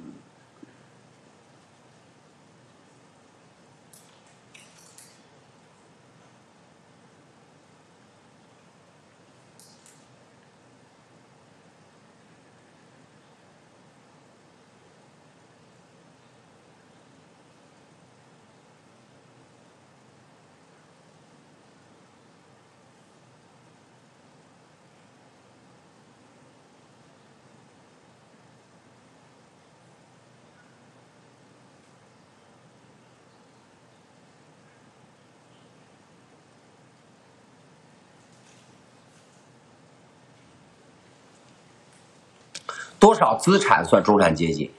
每个国家、每个城市中产阶级的标准不一样。呃，中产阶级一般是由呃，这个我怎么跟你说呢？多少算中产阶级？如果在算了，我这么一说，就感觉好像我在故意说哪个阶层的人，别这么去说了，你自己去评定吧。就是你，你有出现我跟你说的这些东西的想法呢？最有分别心、最有那什么的，你就很多都是中产阶级。就是你看到那个开个奔驰跟宝马，啊，普通的啊，然后跟这个可能快递员啊，或者是送餐员啊，或者是街边这些什么老头老太太等等那些，经常发现个东西，然后不依不饶，各种在那骂，然后说什么，然后就是开口闭口就是我怎么我我这个那个的那个，基本都是，基本都是，啊，开凌志的，对对对对对对，对对对对对。就是那个之前网上那个撕逼周公子大战易烊千那个女的，就属于中，她属于中产阶级偏上吧，中上阶层只能说，中上阶层上面还有上层阶层，啊，上层阶层上面还有隐形阶层，这还跨着两个大板块儿。投诉帝王套那个邻居就是对，投诉帝王套那个邻居也是中产阶层，啊，中产阶层，然后紧接着就是中下阶层。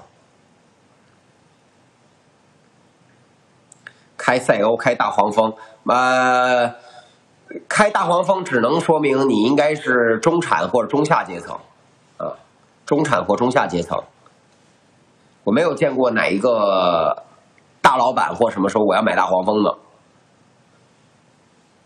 钱不能够确定每个阶层，因为当你到达了中上阶层、上层阶，特别是上层阶层和隐形阶层这三个阶层的金钱收入差不多。但是他们有个本质的区别，是如何获得这个金钱。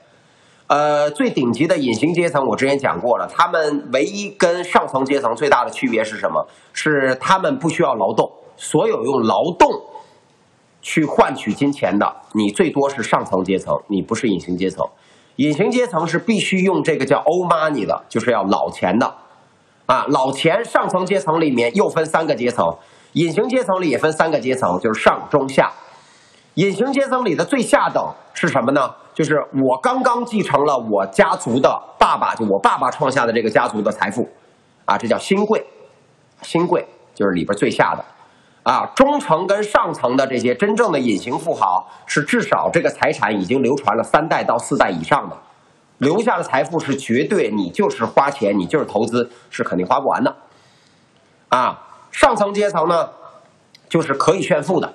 啊，一般都是还会有一些可能说这个，比如说啊，政界的背景啊，啊，或者甚至在国外，就以美国来说的话，可能都甚至说是国会的议员啊，甚至有可能是总统的家族，这都有可能，这都属于上层阶层，就是全财都有，而且是明面上的啊，你知道他很有钱，有一个豪宅啊，比尔盖茨啊等等这些，这都属于上层阶层，但是他们的钱。虽然跟这个隐形阶层的收入或者财富的这个等值有可能是一样的，但是他们是靠自己努力劳动，啊赚来的。中下阶层也有可能他的钱跟上层阶层差不多，但是中下阶层呃呃，中上阶层跟上层阶层的最大的一个区别是什么呢？中上阶层一般来说他们赚的钱都是通过房地产、呃金融、呃。呃，投资，呃，其他的一些主流上的行业，媒体、互联网等等这些，靠这些东西赚来的，所以是根据这个去区分的，财富的来源为核心。那有些人说，财富的来源，他们钱都一样，那为什么能把它分成不同的阶层呢？因为不同阶层的人，当你如果他们的生活习惯跟品味不一样，记着啊，阶层越往下的人，不管你多有钱，越依赖自动化。越依赖科技，认为是牛逼，家里弄个扫地机器人啊，啊，家里弄个巨巨大电视机呀，啊，家里弄个所有一键控制所有的东西啊，家里弄个自动 APP 呀，我我也就是个中产吧，我也就是个中产，就这样，那我就属于很 low 的。你看看这自动化的东西，空气净化器呀，这都是啊。上层跟隐形阶层是绝对不会的啊，特别是隐形阶层，隐形阶层是家里是绝对不会有自动化的任何东西的。没跟你讲吗？就是呃，他们也会有空气净化，说今天空气不好，但是你去看为什么空气这么好？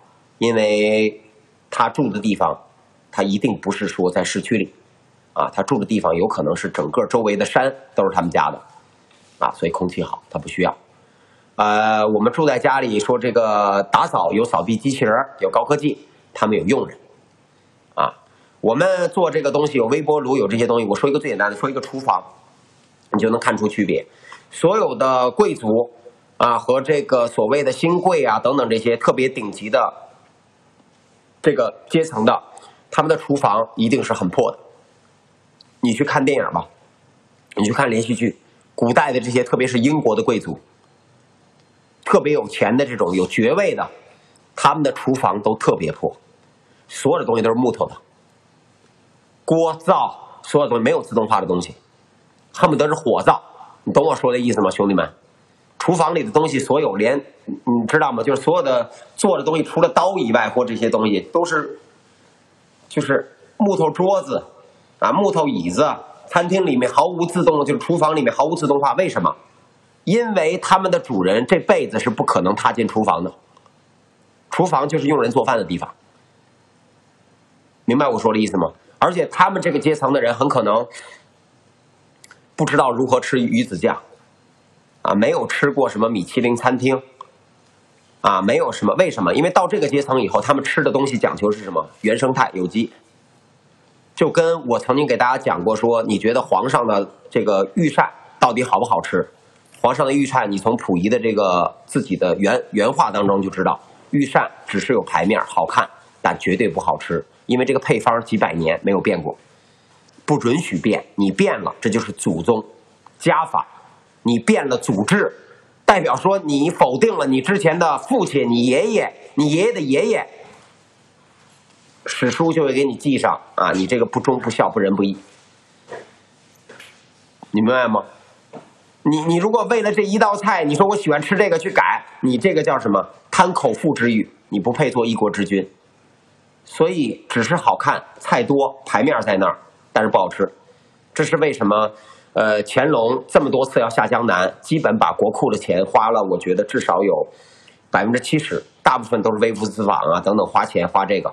因为他去那儿吃的东西、吃的东西，那都不是宫里能吃得到的，所以同样贵族也是如此。他们的东西讲求，比如说土豆泥，我的土豆泥永远是一种做法，而且没有可能口味都没有那么重。啊，我我的我的牛排永远都是主要是牛肉的品质，但我永远的做法是一样的，我不讲求这些。所以他们的这些地方，就是他作为主人，永远他的庄园不管有多大，有多少个房间，有多少个佣人。但是厨房等等这些东西，他是永远不会去的，啊，这就是我说一个最基本的区别。那你要说其他的阶层，有钱的这种有很多啊，比如中上阶层，那他家的厨房可能是全部都是那种你看到的非常豪华，哇，全部都是那种你知道设计师装修，全部现代化一体，非常的干净，一摁按钮，咵，整个的造出来，然后微波炉自恨不得有自动做饭的机器人，自动咖啡机，他们是绝对不允许的。必须能手工的地方一定要手工，所以这个东西是区别所谓的这种贵族和有钱人从本质上的区别。但我说这个不是说去宣扬什么金钱主义这些东西啊，我就是告诉大家，在社会中这个阶层从任何的国家、任何的城市、任何的地方都有，但只是有些东西我们不知道。什么叫做进步？什么叫做往上走？就是最高的东西，其实你从。某些角度来看，其实最返璞归真的，就人追求到一个极致是最返璞归真的。就是说，很多人说马云为什么永远只穿这一件毛衣啊，红色的？马云为什么永远夏天永远是这一一款 T 恤？因为这 T 恤他定做的，有可能有几百件，因为他没有时间换这些衣服。但是他的衣服他必须得舒服啊，那个毛衣必须得是纯羊毛，必须得本着说这种叫做纯有机理论啊，它不能是有涤纶。啊，不能有这种掺的人工纤维，有机械肯定不能，啊，它必须得是符合有机的这个原则，我舒适为主，啊，不能太新，看着都得是旧旧的那种感觉。但你要在其他的暴发户来说，那我不能穿这个，为什么？我他妈吃挖矿之前我就穿这个，挖矿之后我还穿这个，怎么证明我有钱？我不得大金链子什么各种戴上？区别，对吧？那你慢慢的大金链子不够了，不行，我得戴大金表。大金表不贵了，我得戴这个豪豪表。我豪表再往上是什么呢？不代表，因为不需要。兄弟，我说的有没有毛病？你去想吧，对吧？我一开始我是一个 T 恤，我慢慢的我晋升，我可能穿一个这个品牌，我品牌再晋升，我可能是穿定制，啊，我定制再往上，我可能是穿这种说这个不同功能性的这个服装套装，啊，我再往上，我可能又穿回 T 恤，但这个 T 恤跟那个 T 恤也不一样，你明白吗？就是它一定是一个阶段，一个巡回。那你走过所有这些阶段以后，你就会觉得，哎，就是又回来了，就就是这样的。因为你到了那个高度以后，你每天忙，你到那些那些东西就变成你没有意义去炫耀。你就马云出去，而且而且我跟你讲一讲，最顶级阶层和最低阶层，他们都有一个共性，他们出去从来不带钱。感谢孔雀东南飞的爱你万年，感谢感谢。你去想我说的有没有道理？他们都不带钱。之前不是出了一个新闻吗？是哪儿的领导忘了出去，是什么到那儿去说是是助农啊，也不是什么东西。然后有人说啊，你买一点我们的水果吧，还是什么东西，死活不买。你就助农你不买，然后紧接着最后说买了没有钱，身上掏半天没有钱，懂吗？就当时在直播，很尴尬。就是很很多东西，它它它它就是这样，它一定是一个整个的一个一个一个整个。所以你看到我这些，有些人说啊，你你没有素质，你什么？我确实没有，还是那句话，咱没钱，还是还是穷。你懂我说的意思吧？咱还没有到返璞归真那个，还差得太远，有可能这辈子都到不了。你懂我说的意思吗，兄弟们？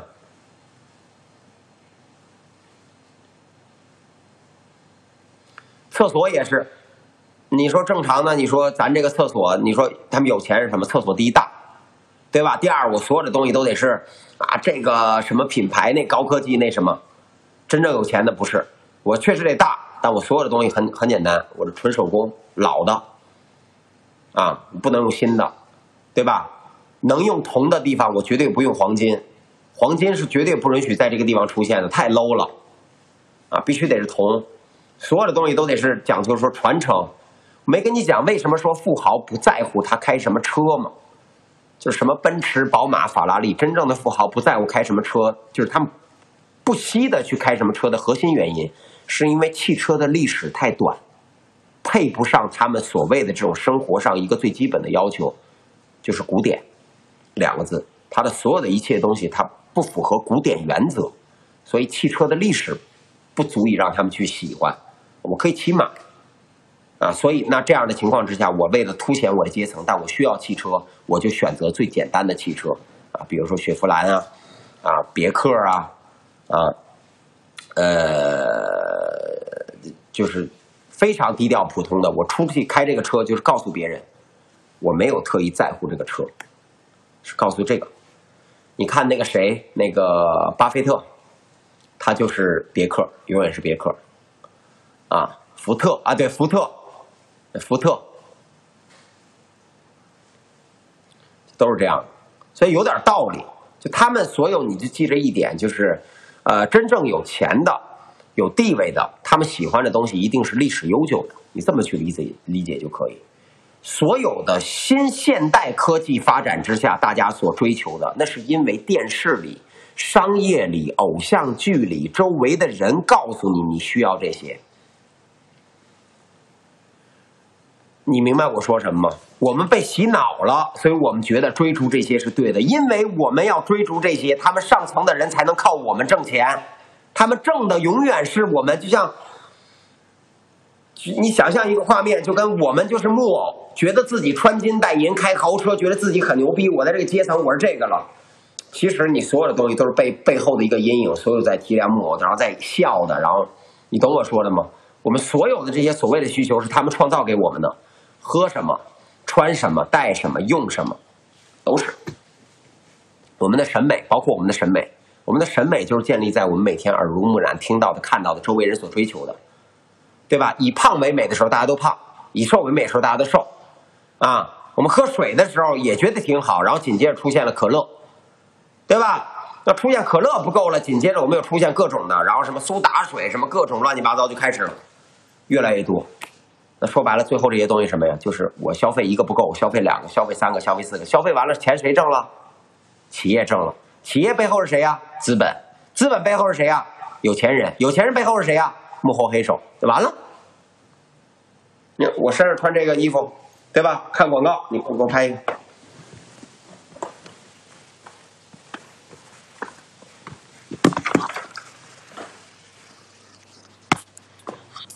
对吧？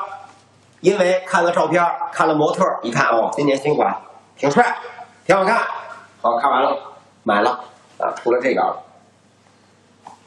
这个是限量的，买不到啊，纯手工，好吧？而且这个历史可以追溯到一千一千一年一千年前，啊，好吧？纯宫廷配方，手工制作，啊，最主要的是一点什么呢？核心对我们的身体，啊，对我们的精神力，对我们的集中力，非常有帮助。而且最主要的什么？有品位，好吧？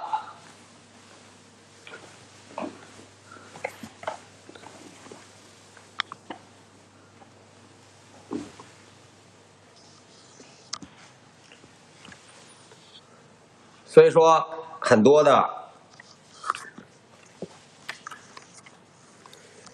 衣服哪买？Tom Brown 搜一下就有了，找买手啊。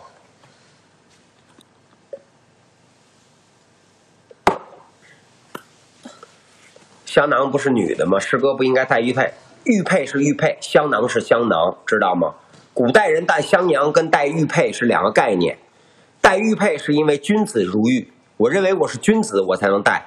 而且我再跟你们说一个最简单的，说家里边以前说这个养丫鬟啊或者仆人呢，首先没有功名的人在古代说你古代也有阶级，说你只有钱，感谢林来疯的宠你一万年，说你只有钱，你是个暴发户，但你没有任何功名在身，你是绝对不允许在家里面有所谓的佣人的，因为你阶级不够，明白吧？你最起码你得是可能得是拿点什么什么秀才啊、举人啊，你得是有功名在身，然后你再有钱，你家里才允许，因为这是当时的法律所不允许的，知道吧？要鼓励大家有文化去读书人，士能工商，商人有钱的是最低等的。说一个土财主家里各种丫鬟什么的，那是犯法的，那不可能，明白吗？你必须得先有功名，你再有钱，你才能够有这个。兄弟们，我粽子来了啊！哇，欢迎赠华给我牌面走一走啊，粽子，我刚夸完你啊。这之前我说昨天晚上真的一直盯到十二点，有心了啊，兄弟有心了啊。欢迎我粽华，兄弟们，弹幕给我走起来。呃，我我们这样给粽皇想一口号吧，以后粽皇来咱们就统一这个口号啊，叫啊、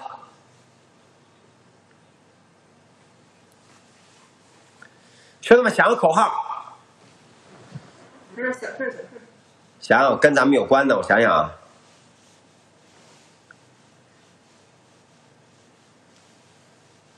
这香囊你们不会还有人没买到的吧？基本我觉得房间的应该都买了吧，三款。你们你帮我想一想口号长一点的。这款是清凉啊，清凉最主要的功效是什么呢？就是你闻着以后，整个人很通透，立马就感觉晕车。你如果晕车一闻，马上哎，不恶心了，不难受了，然后精神力能够集中，而且时刻有一个药香味儿淡淡的在这儿，里面有很多几十味这种药材香材，然后纯手工的啊，然后呃还有这种专门说这个能够说这个安神的。啊，家里睡眠不好的，老人睡眠不好的，包括你经常容易说这个神经衰弱等等那些，这个效果非常的好。闻了以后，这个就偏香，而且里面有薰衣草，淡淡的薰衣草香味儿，所以闻着能够哎非常非常舒服。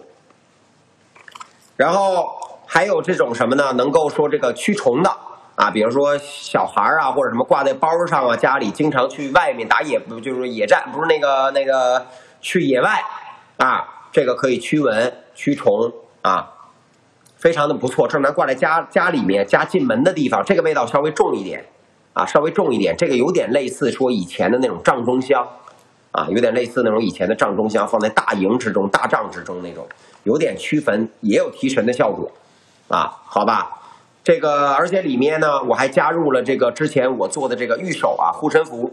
道教的这个有很多这种趋吉避凶的这个方法啊，包括我们每年有的本命年去这种什么白云观啊，去道教买那种护身符。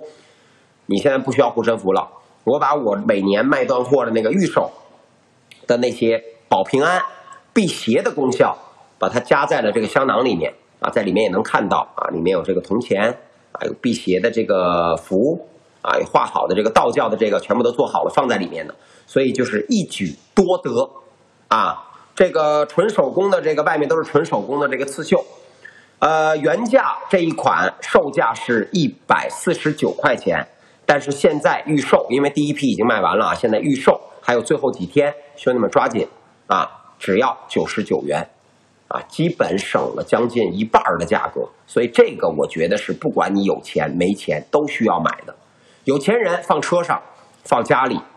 代表你什么？一来以味识人，一闻这味道，我操！你这人家肯定会问你，你想一想，哎，什么味儿啊？拿出来一显摆一说，人家肯定说，哎，那送我一个吧，给我一个吧，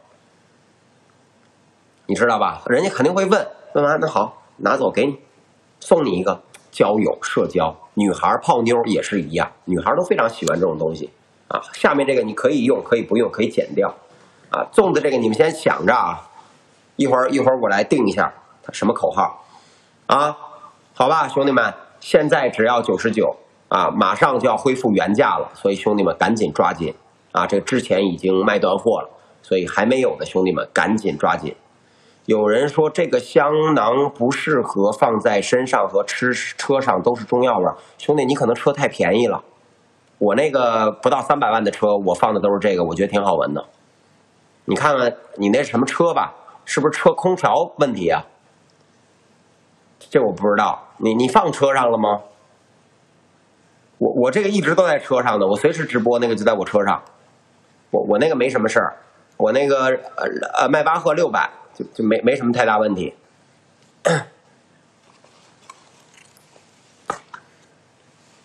好吧，然后不知道在哪买的，兄弟们非常简单啊。我来给各位看一下，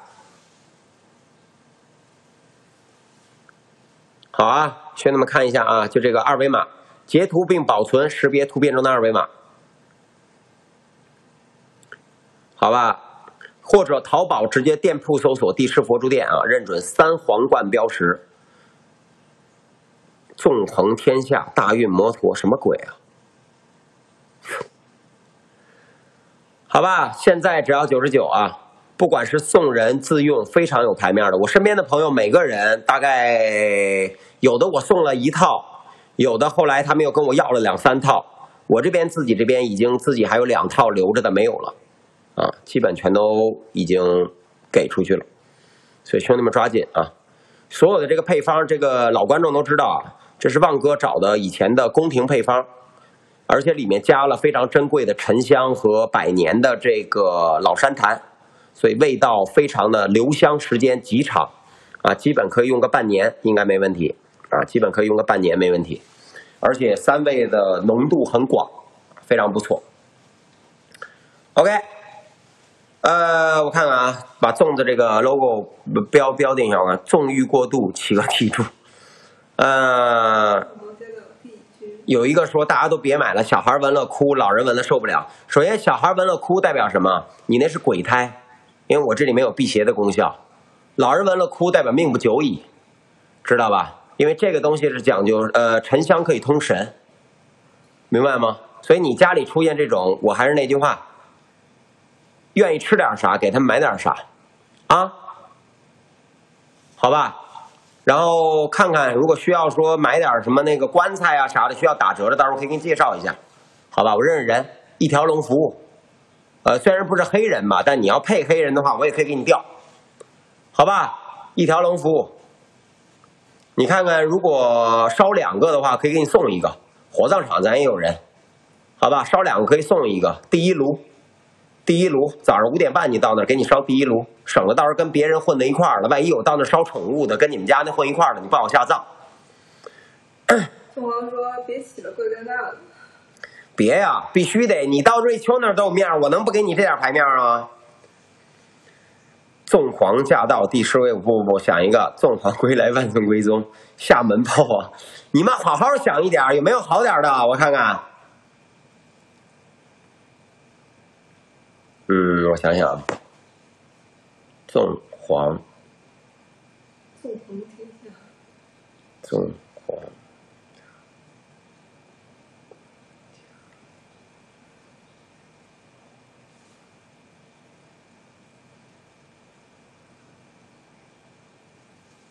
纵横归家天。嗯，粽子有没有自己看着喜欢的？可以刷一下我看看。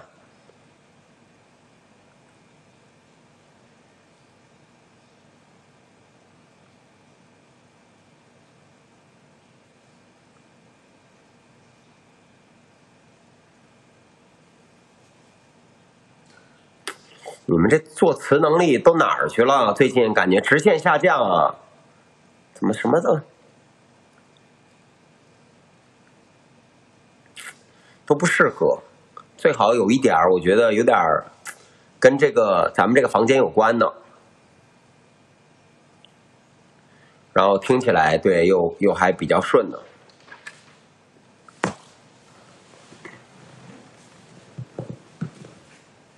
炮王有什么鬼？你别来炮王了，兄弟，有没有谁能想出来的？这样吧，第一个想出来这个弹幕的，我看到这第一个弹幕的，我选出来了，两百现金红包，好不好？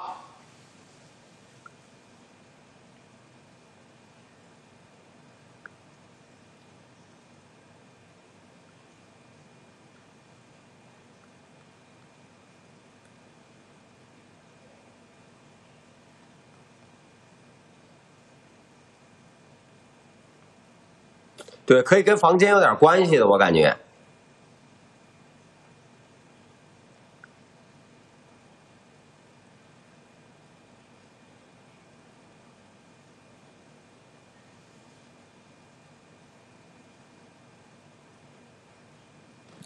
这么难写吗？纵横最狂，穿云上床是什么鬼啊？你给我，万箭归心，那不死了？纵横天还万箭归心，你这都咋想的？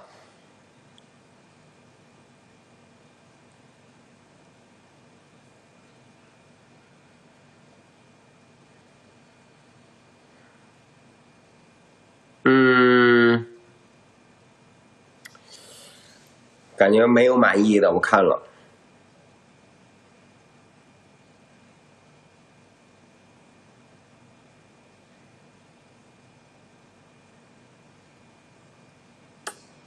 没有，这家伙才华，你们这才华太有限了。我觉得不一定是多么的狂，你知道吗？我觉得这个东西主要是要舒服，要符合，你懂吗？粽子飘香，引来一切美好。你跟我这卖粽子呢？啊，广告词啊！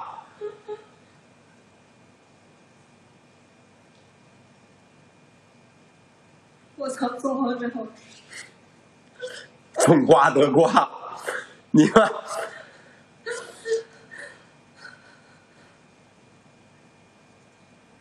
纵皇帝家人，欢迎回家。纵皇帝家人，哎，这个等一下，纵皇帝家人。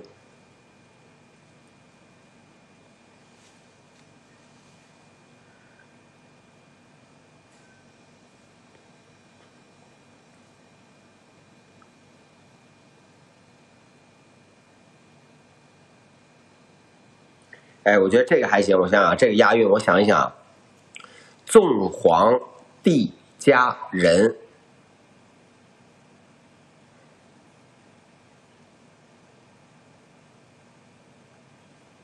呃，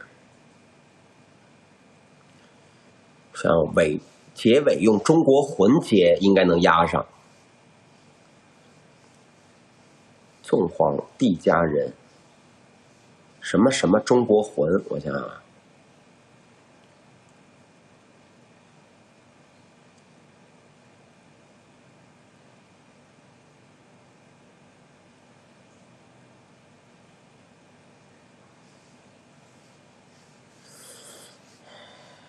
费脑子，费脑子，费脑子。地花儿就种向四花，种花，种向四花。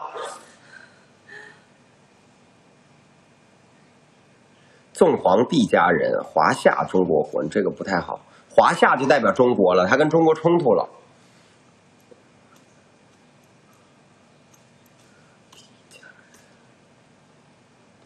共筑中国魂有点不太符合。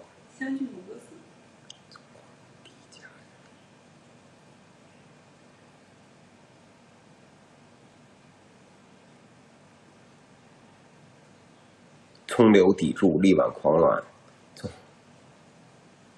身负中国魂。哎，这个我感觉还行。第，我想想，扬我中国魂有点大了。哎，纵皇帝家人，身负中国魂，你们觉得这怎么样啊？我感觉还行啊。纵皇一家人，身负中国魂，你觉得咋样啊？身负，我看有没有中。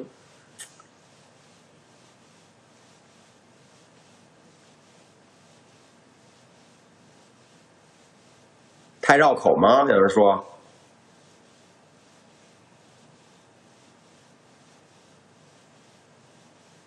粽子，你有没有看到有还可以的？你你你选一个，我看看。这么多，有点过了哈。共筑中国魂，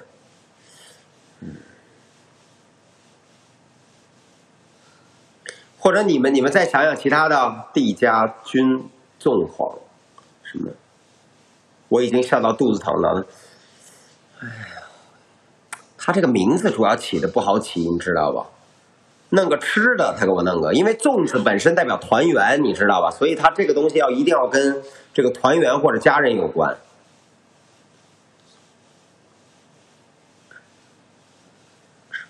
众志成城，我想啊，众众志成城，谐音纵。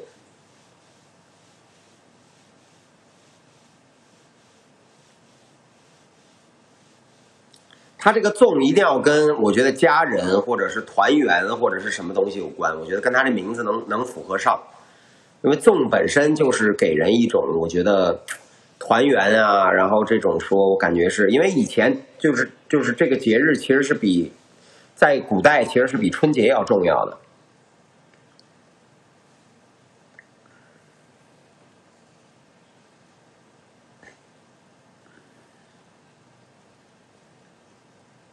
纵皇帝家人不久会生神，那粽子粽子得花不少钱，粽不久会生神。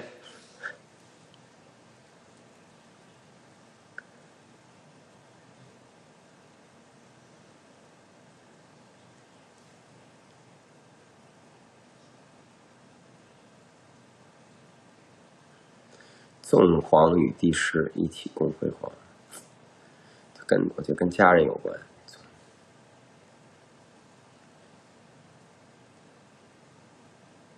哎，欢迎猴子。感谢我猴子的十个爱你们你啊！感谢我猴总，谢谢兄弟，谢谢兄弟。猴子这我其实应该跟他想一个，猴子，猴子这个好想，猴子这个好想。我觉得这几个人都得给他们想一个，来到房间刷的这个，这几个长期这么支持咱们，咱们都得想一想，兄弟们有没有有心的能想出来的？不行，微博私信我啥的，我要选中了以后，兄弟二百元现金啊！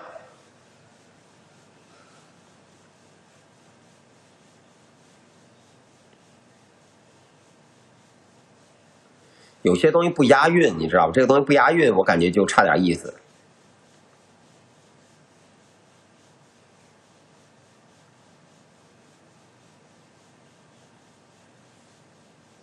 我操，有一个不错，刚刚那彩色弹幕写贼长，修隐性，黄格欢吗？对，什么？这是个这是个诗吧？等一下，我看。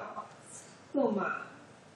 纵皇帝家人，养我帝王魂。不不不，我感觉不太好，我感觉刚刚我想的不是特别好。纵皇一进门，勇士一家人，这也还行。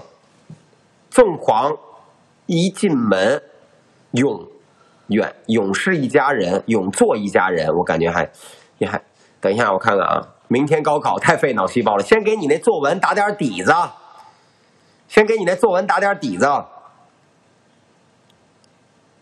纵横一家人，养我，纵心似箭，地马狂澜，这个感觉跟他没有什么太大关系啊。这个好像亲切点，哪个亲切点？粽子，你说哪个亲切点？你给我打出来，我看一眼。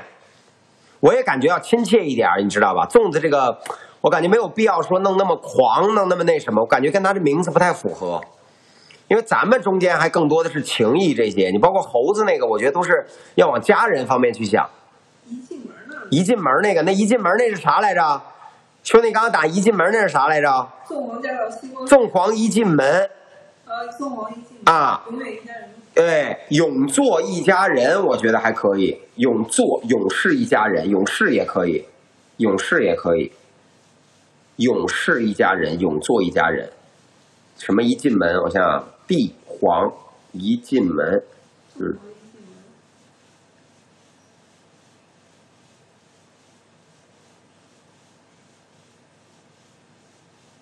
宋王一进门，纵皇一进门，永远一家人。我感觉不不如勇士一家人。我感觉纵皇一进门，勇士一家人。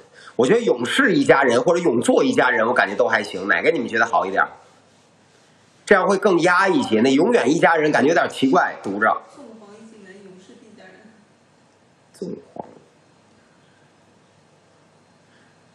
不是，别地家人，那有点太太奇怪了，你知道吗？大家就是一家人，我觉得一家人可以。最新一点，百大大美女也可以用。对吧？纵皇一进门，勇士一家人。哎，对，大美女。哎，对，都可以用啊。美女啊、美女一进门，勇士一家人。哎，猴子，猴猴总一进门，勇士一家人。这个就他了，兄弟们，这个都可以啊，这可以，这可以。勇士吧，勇士，勇士一家人，是是是不是的是，勇士一家人，好吧？哎，这个可以。这万金油，纵皇一进门，勇士一家人。兄弟，咱先试一波，来来来，给我来波弹幕。纵皇一进门，勇士一家人。不是勇士，你妈生日是下辈子的，我还不一定男女呢。谁给？就这辈子，先说这个，先说现在的事儿，是不是的是啊？不是那个是。哎，对，纵皇一进门，永世一家人。纵的这可以吗？我感觉这没有毛病。我感觉这没毛病。纵皇一进门，永世一家人。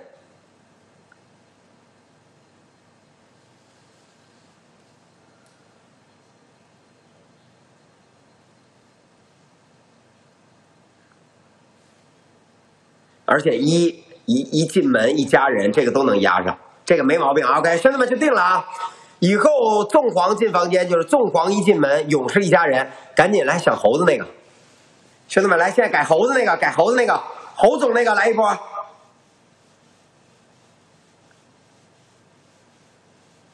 侯总一上树，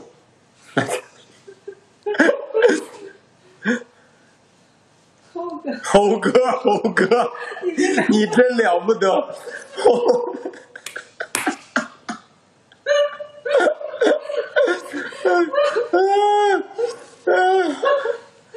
我我猴哥，猴哥，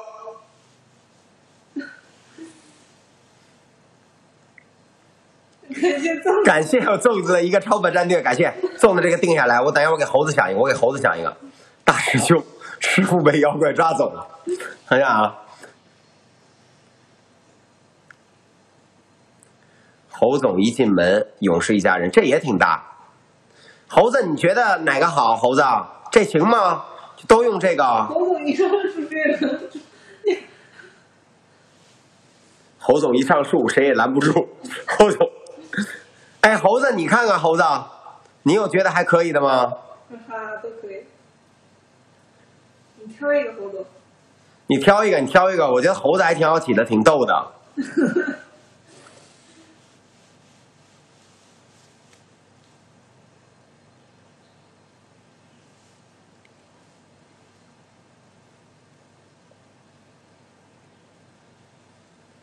猴哥，猴哥，你真了不得，猴哥，猴塞雷，哎，猴什么人？猴塞雷，哎，这也可以。我想啊，猴什么什么，然后猴塞雷，我想想，猴。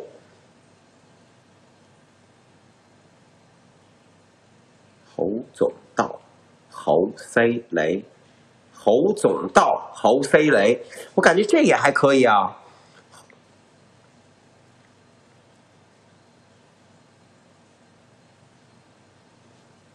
侯总鉴定什么超级赛亚人都来了，侯赛雷奥利给，侯塞雷这个我觉得还可以，但侯赛雷这不压呀。侯赛雷奥利给，这没有啥意思啊，这个。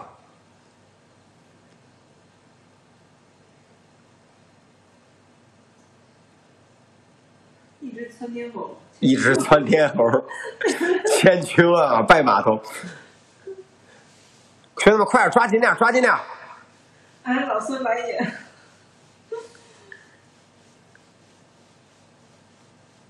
哎，我觉得俺老孙来也也挺也挺也挺可以的。我觉得可能。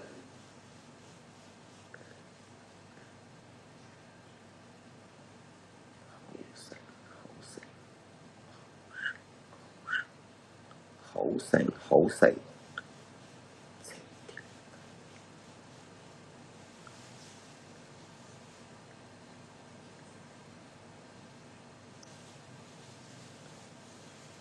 猴哥第十被黑粉抓走了。莫看侯总千机变，心意永长存。这也不压呀。谁来了？我靠，猴子，你是六耳猕猴吗？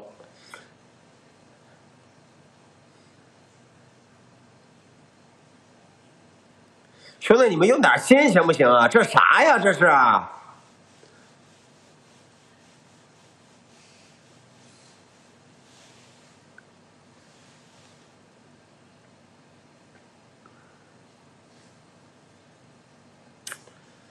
行，你们这不行啊！你们这造梗能力，怎么猴子一泡尿，惹得佛祖哈？这都啥呀？猴哥蹲草丛，我靠，猴子，我靠，猴子，我靠，猴总，哎，我觉得这个行，兄弟们，你们来一个，我看看这个感觉，我靠，猴总，你们来一波，我觉得这个挺挺有意思的，对吧？这不知道的新进来的肯定说侯总是谁，侯总是谁？这牌面，我靠，侯总，对吧？这王思聪来了，人家肯定对吧？我靠，校长。我靠，侯总，这怎么样？猴子，我感觉这个不错，而且好记。我靠，侯总，对吧？我也老说，我靠，猴子来了，这可以吧？那别别说了，别怎么是个猴子就行。就这个吧，侯总可以，可以，可以，就这个。我靠，侯总就这个了，兄弟们，以后粽子来了啊，知道是什么吧？这个猴子，侯总来了以后啊，我们就是我靠，侯总，这没毛病，这挺有排面，这挺有排面。我们再趁着 Christy 不在，我们给 Christy 想一个。我靠，侯总，对对对，这个绝对必须感叹号啊，小感叹号很重要。这个也是万金油，但是说我靠，纵黄。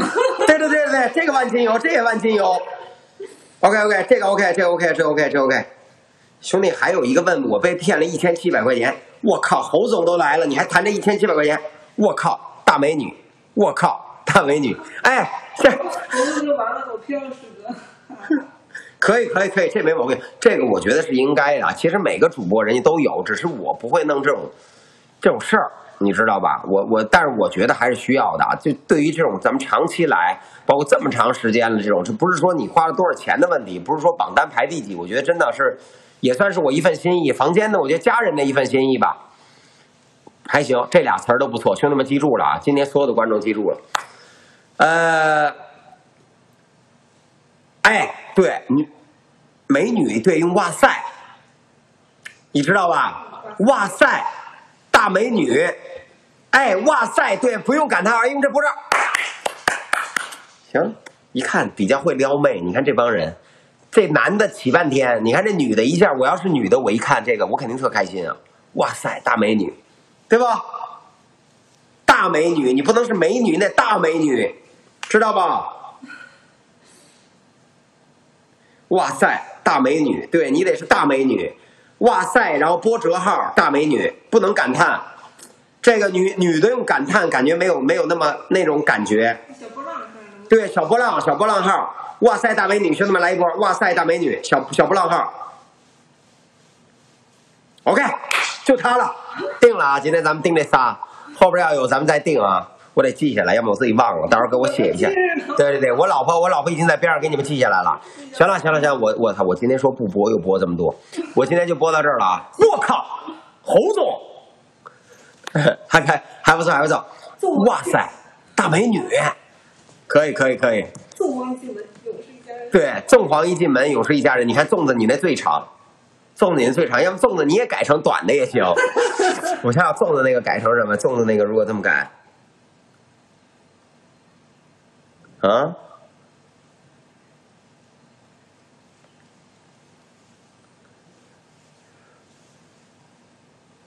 我操，粽子，粽子是我操。哇塞，大粽子！感觉见鬼了！嗯我操，这个我感觉可以。我操，大粽子！大粽子，哎哎，我觉得大粽子可以。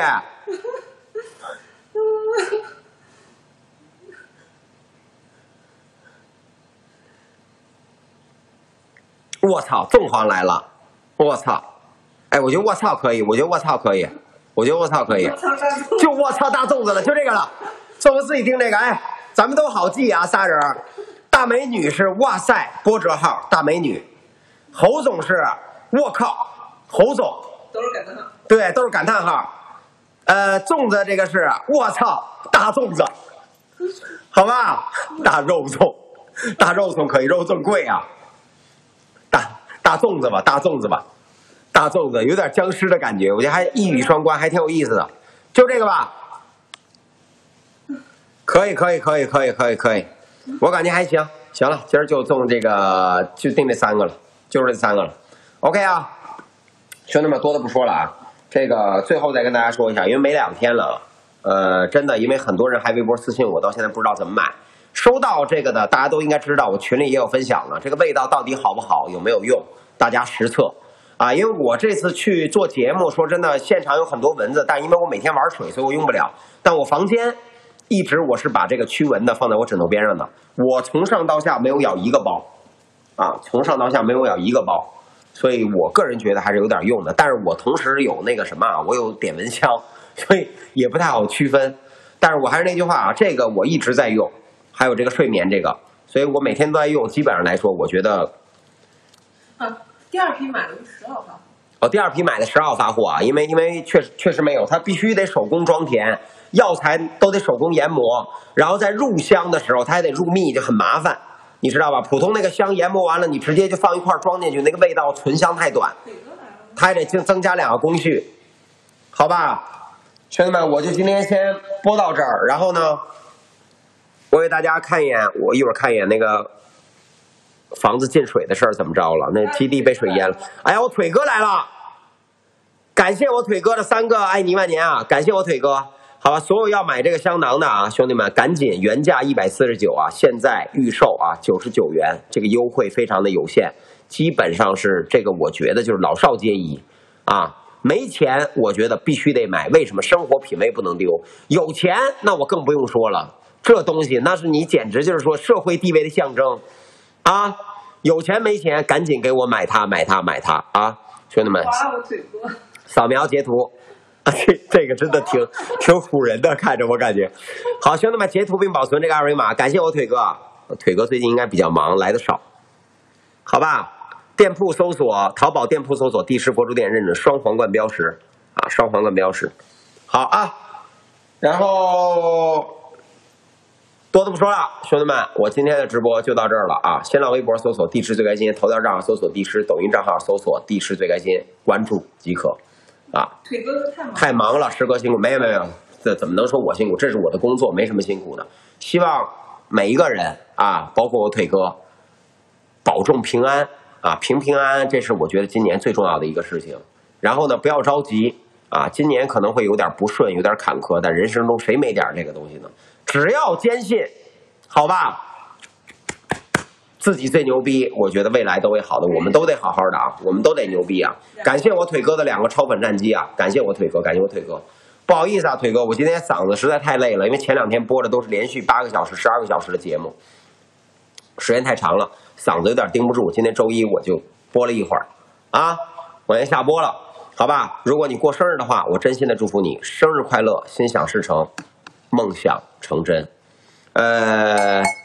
然后希望每一个我们的父母能够长，每一位我们的父母能够长命百岁。希望我们的祖国越来越富强啊！我是帝师，一支穿云箭，千军万马。